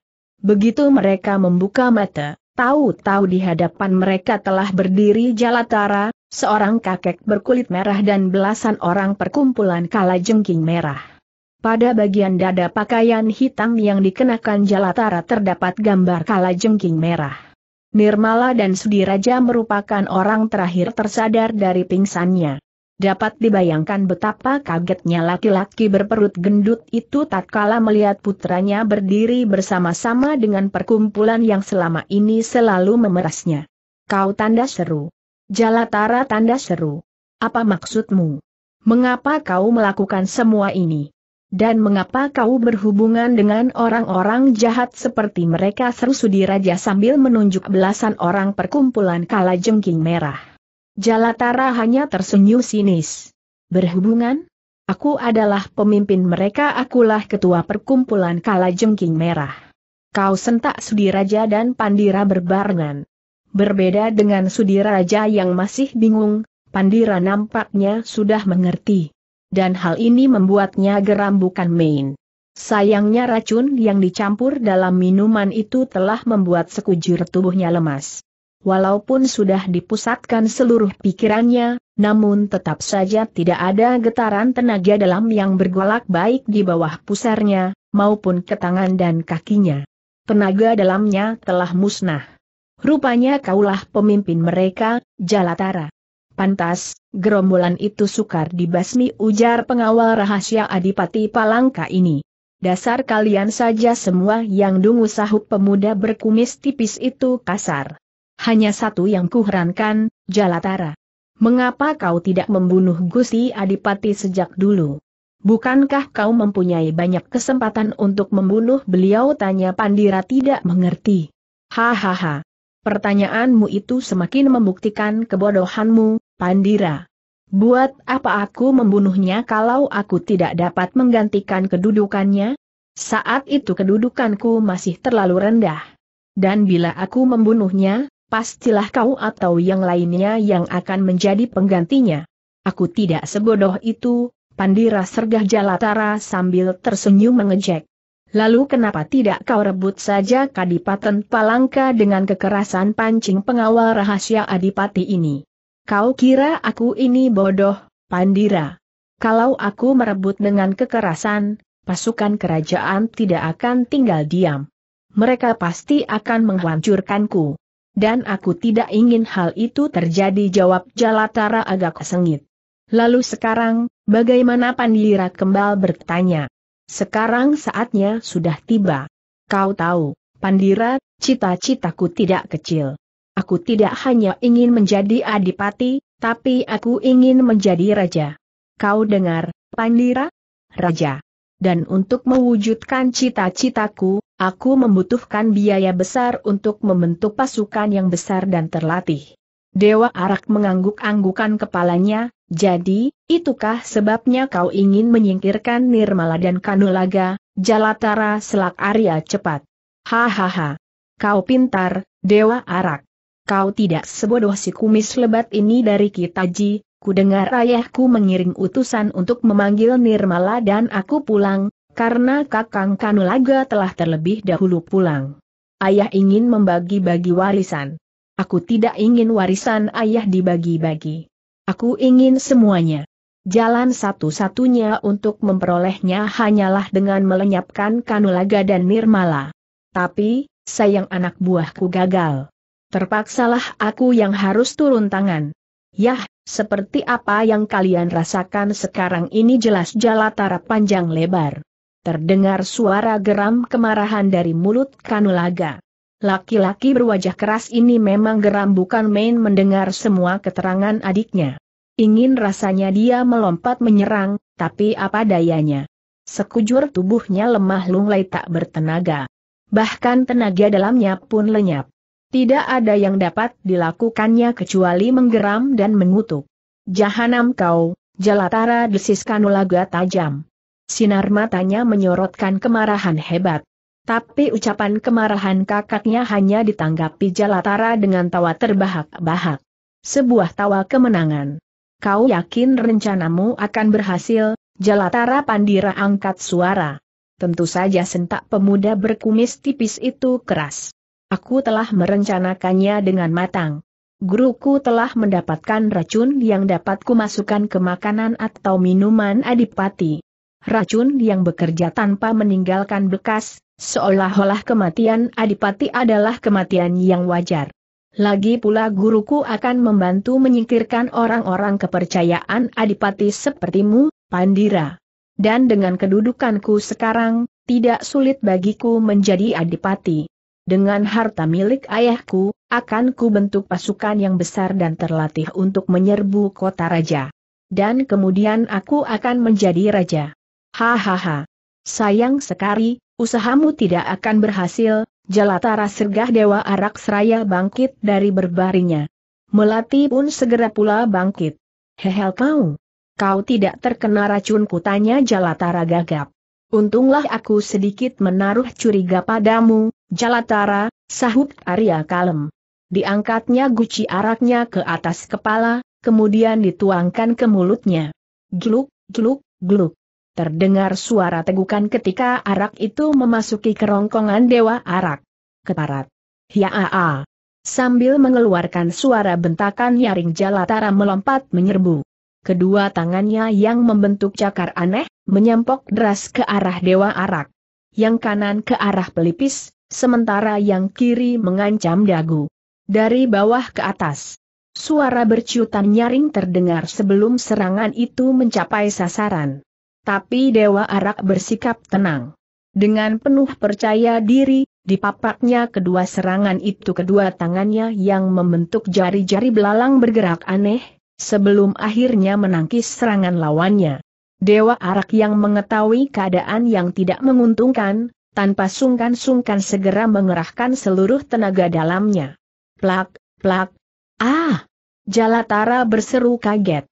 Pemuda berkumis tipis ini langsung terjengkang ke belakang. Sekujur tangannya dirasakan ngilu bukan main. Dadanya pun terasa sesak bukan kepalang.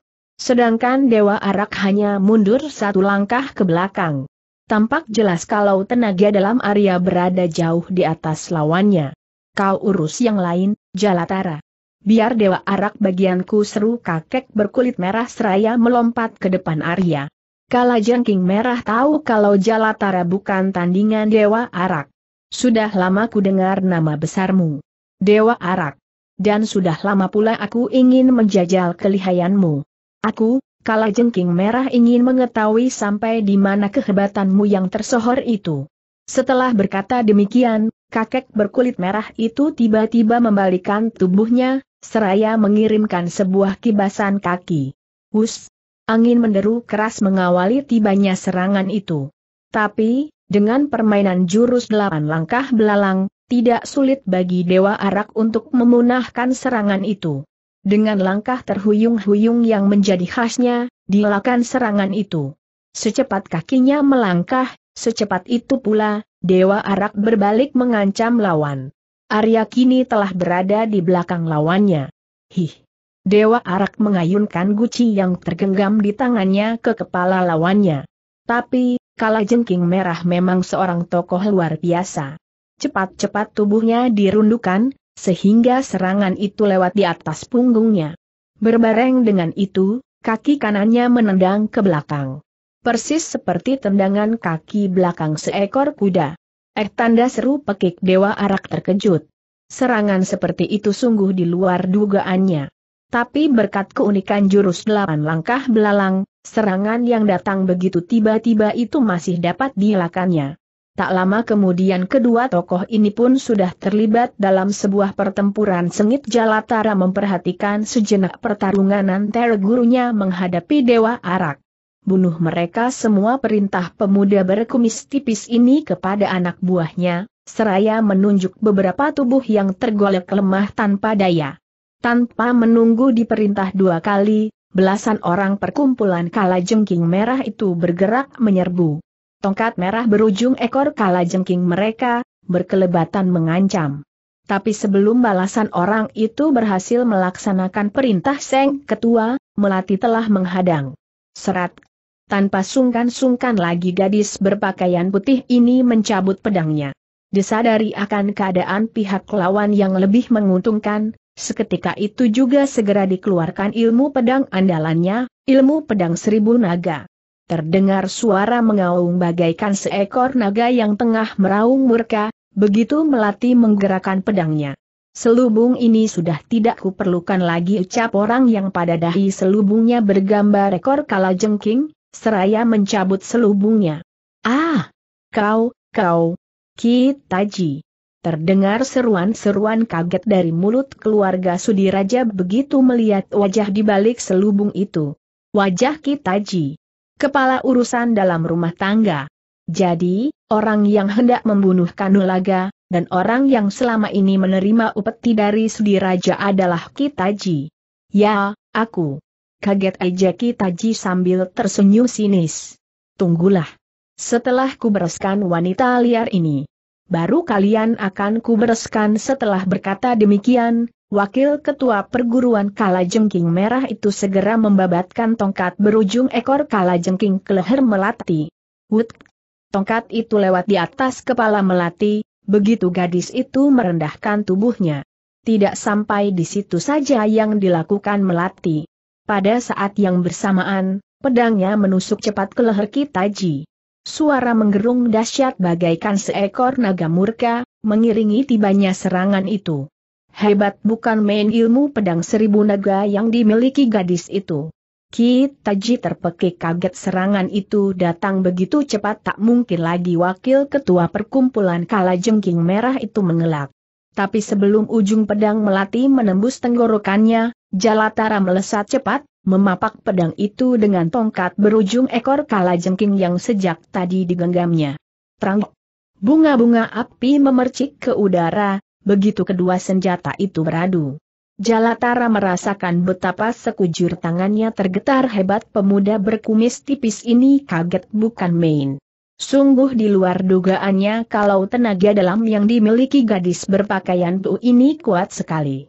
Semula Jalatara menduga kalau hanya Dewa Arak sajalah yang merupakan lawan tangguh. Sungguh tidak diduganya kalau Melati pun merupakan lawan yang amat berat baginya. Jalatara tidak punya pilihan lain. Pemuda ini tidak ingin usahanya yang telah lama dirintisnya gagal total maka tanpa malu-malu lagi, anak buahnya diperintahkan mengepung melati. Sebu. Tanpa diperintah dua kali, belasan anak buahnya meluruk menyerang melati, sesaat kemudian hujan senjata pun berkelebatan ke arah gadis berpakaian serba putih itu. Jalatara pun tidak tinggal diam. Bersama Kitaji, pemuda berkumis tipis ini ikut menyerbu. Melati menggertakkan gigi. Dua belas orang anak buah perkumpulan kala jengking merah bukanlah lawan yang berat baginya. Tapi Jalatara dan Kitaji, merupakan lawan yang patut diperhitungkan. Mau tak mau Melati terpaksa harus mengerahkan seluruh kemampuannya, bila ingin selamat sesaat kemudian di ruangan itu telah terjadi pertempuran sengit. Sementara itu pertarungan antara Dewa Arak melawan Kala Jengking Merah sudah bergeser jauh dari tempat semula. Ruang tengah yang sebenarnya cukup luas, terasa sangat sempit bagi kedua orang sakti itu. Lantai dan dinding ruangan telah banyak yang retak-retak, karena setiap kali kedua tokoh itu melancarkan pukulan, dinding ruangan itu selalu bergetar. Hal ini membuat kedua tokoh sakti itu tidak leluasa untuk melancarkan serangan khawatir bila bangunan itu roboh dan menimpa mereka. Kini Dewa Arak dan Kala Jengkingi Merah telah berada di halaman. Semakin bertambah luas tempat pertarungan gerakan mereka pun semakin leluasa.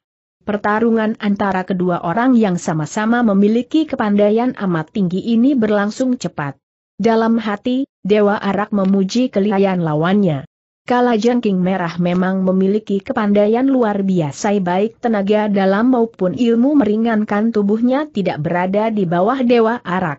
Dan yang lebih menyulitkan bagi Dewa Arak, adalah keanehan ilmu yang dimainkan kakek berkulit merah itu. Ilmu milik kakek berkulit merah itu mengingatkan Arya pada binatang kala jengking dan kuda.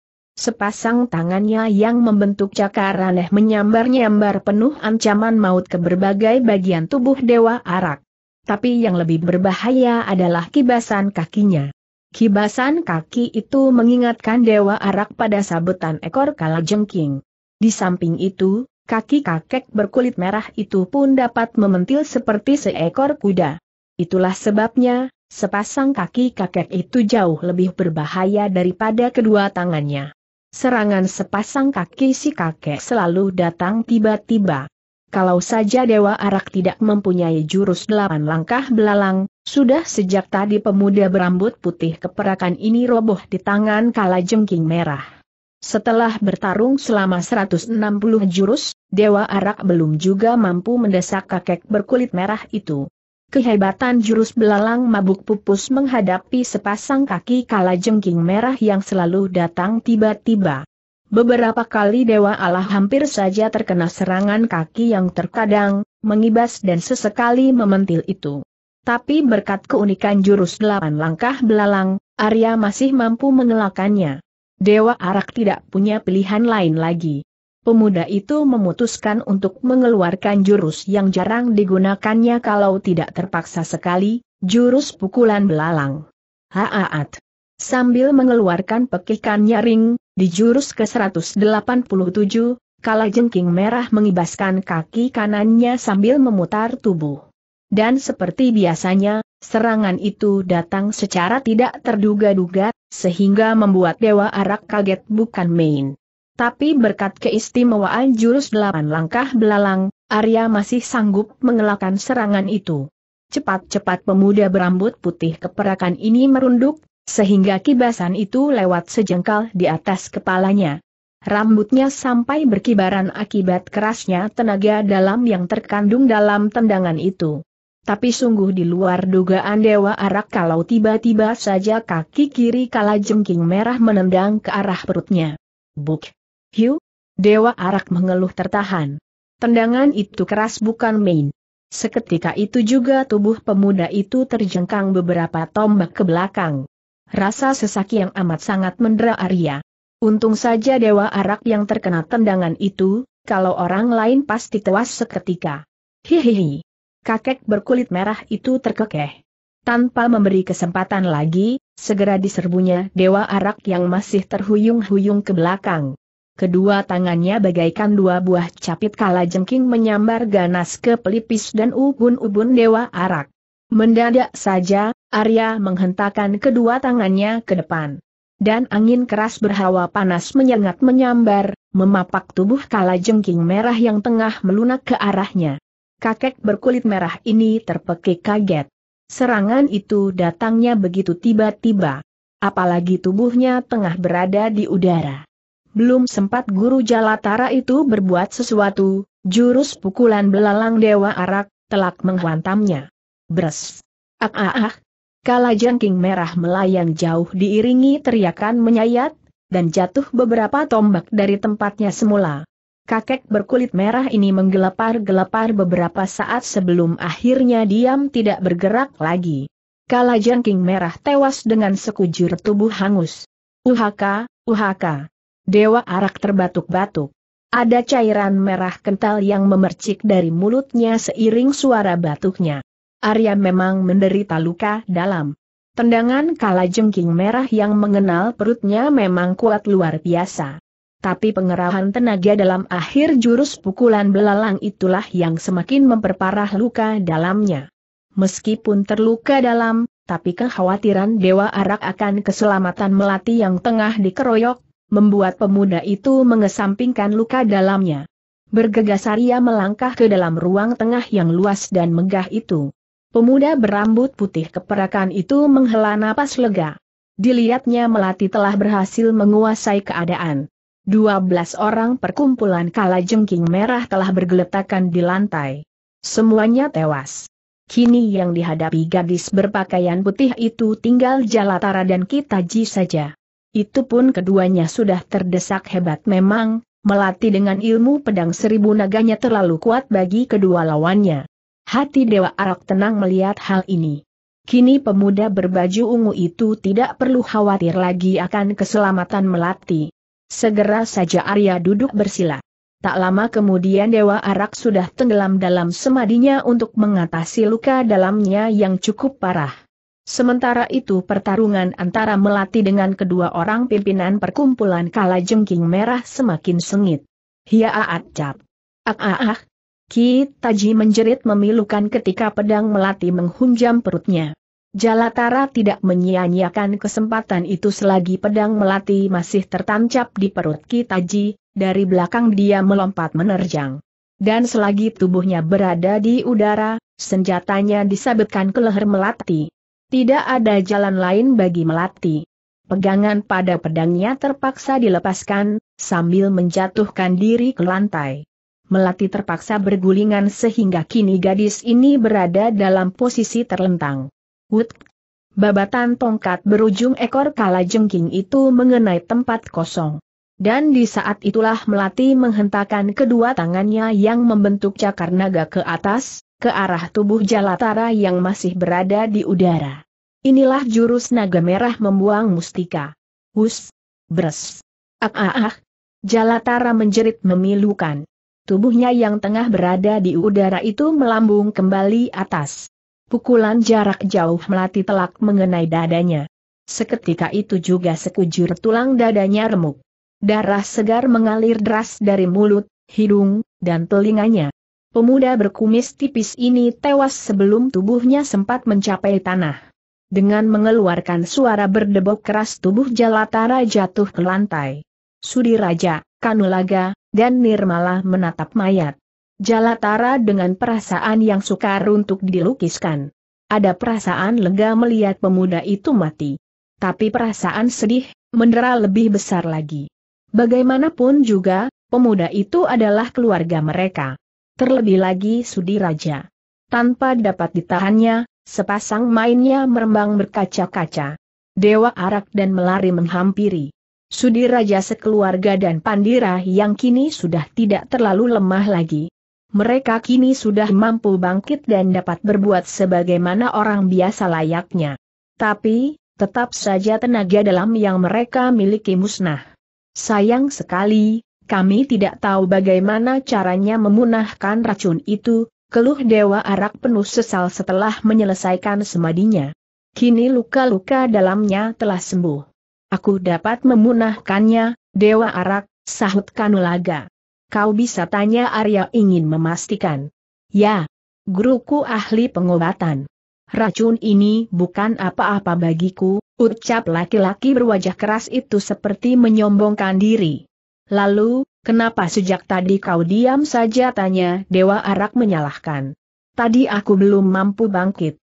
Eh, Dewa Arak panggil Kanulaga keras. Sebelum pemuda itu menyelesaikan ucapannya, Dewa Arak melesat pergi dari situ diikuti oleh Melati. Tapi Arya dan Melari sama sekali tidak mempedulikan panggilan Kanulaga. Kedua pendekar muda ini sengaja bergegas pergi, karena tidak ingin menerima ucapan terima kasih dari orang yang ditolongnya. Lagi pula urusannya telah selesai. Kanulaga, Sudiraja, Pandira, dan Nirmala, hanya dapat teriongong melihat kepergian penolong mereka. Sementara itu, nun jauh di sana nampak dua sejoli tengah berjalan berdampingan. Seorang pemuda berambut putih keperakan dan seorang gadis cantik berpakaian serba putih. Kedua orang itu adalah Dewa Arak dan Melati yang terus mengembarami menuhai tugas sebagai pendekar pembela kebenaran. Selesai.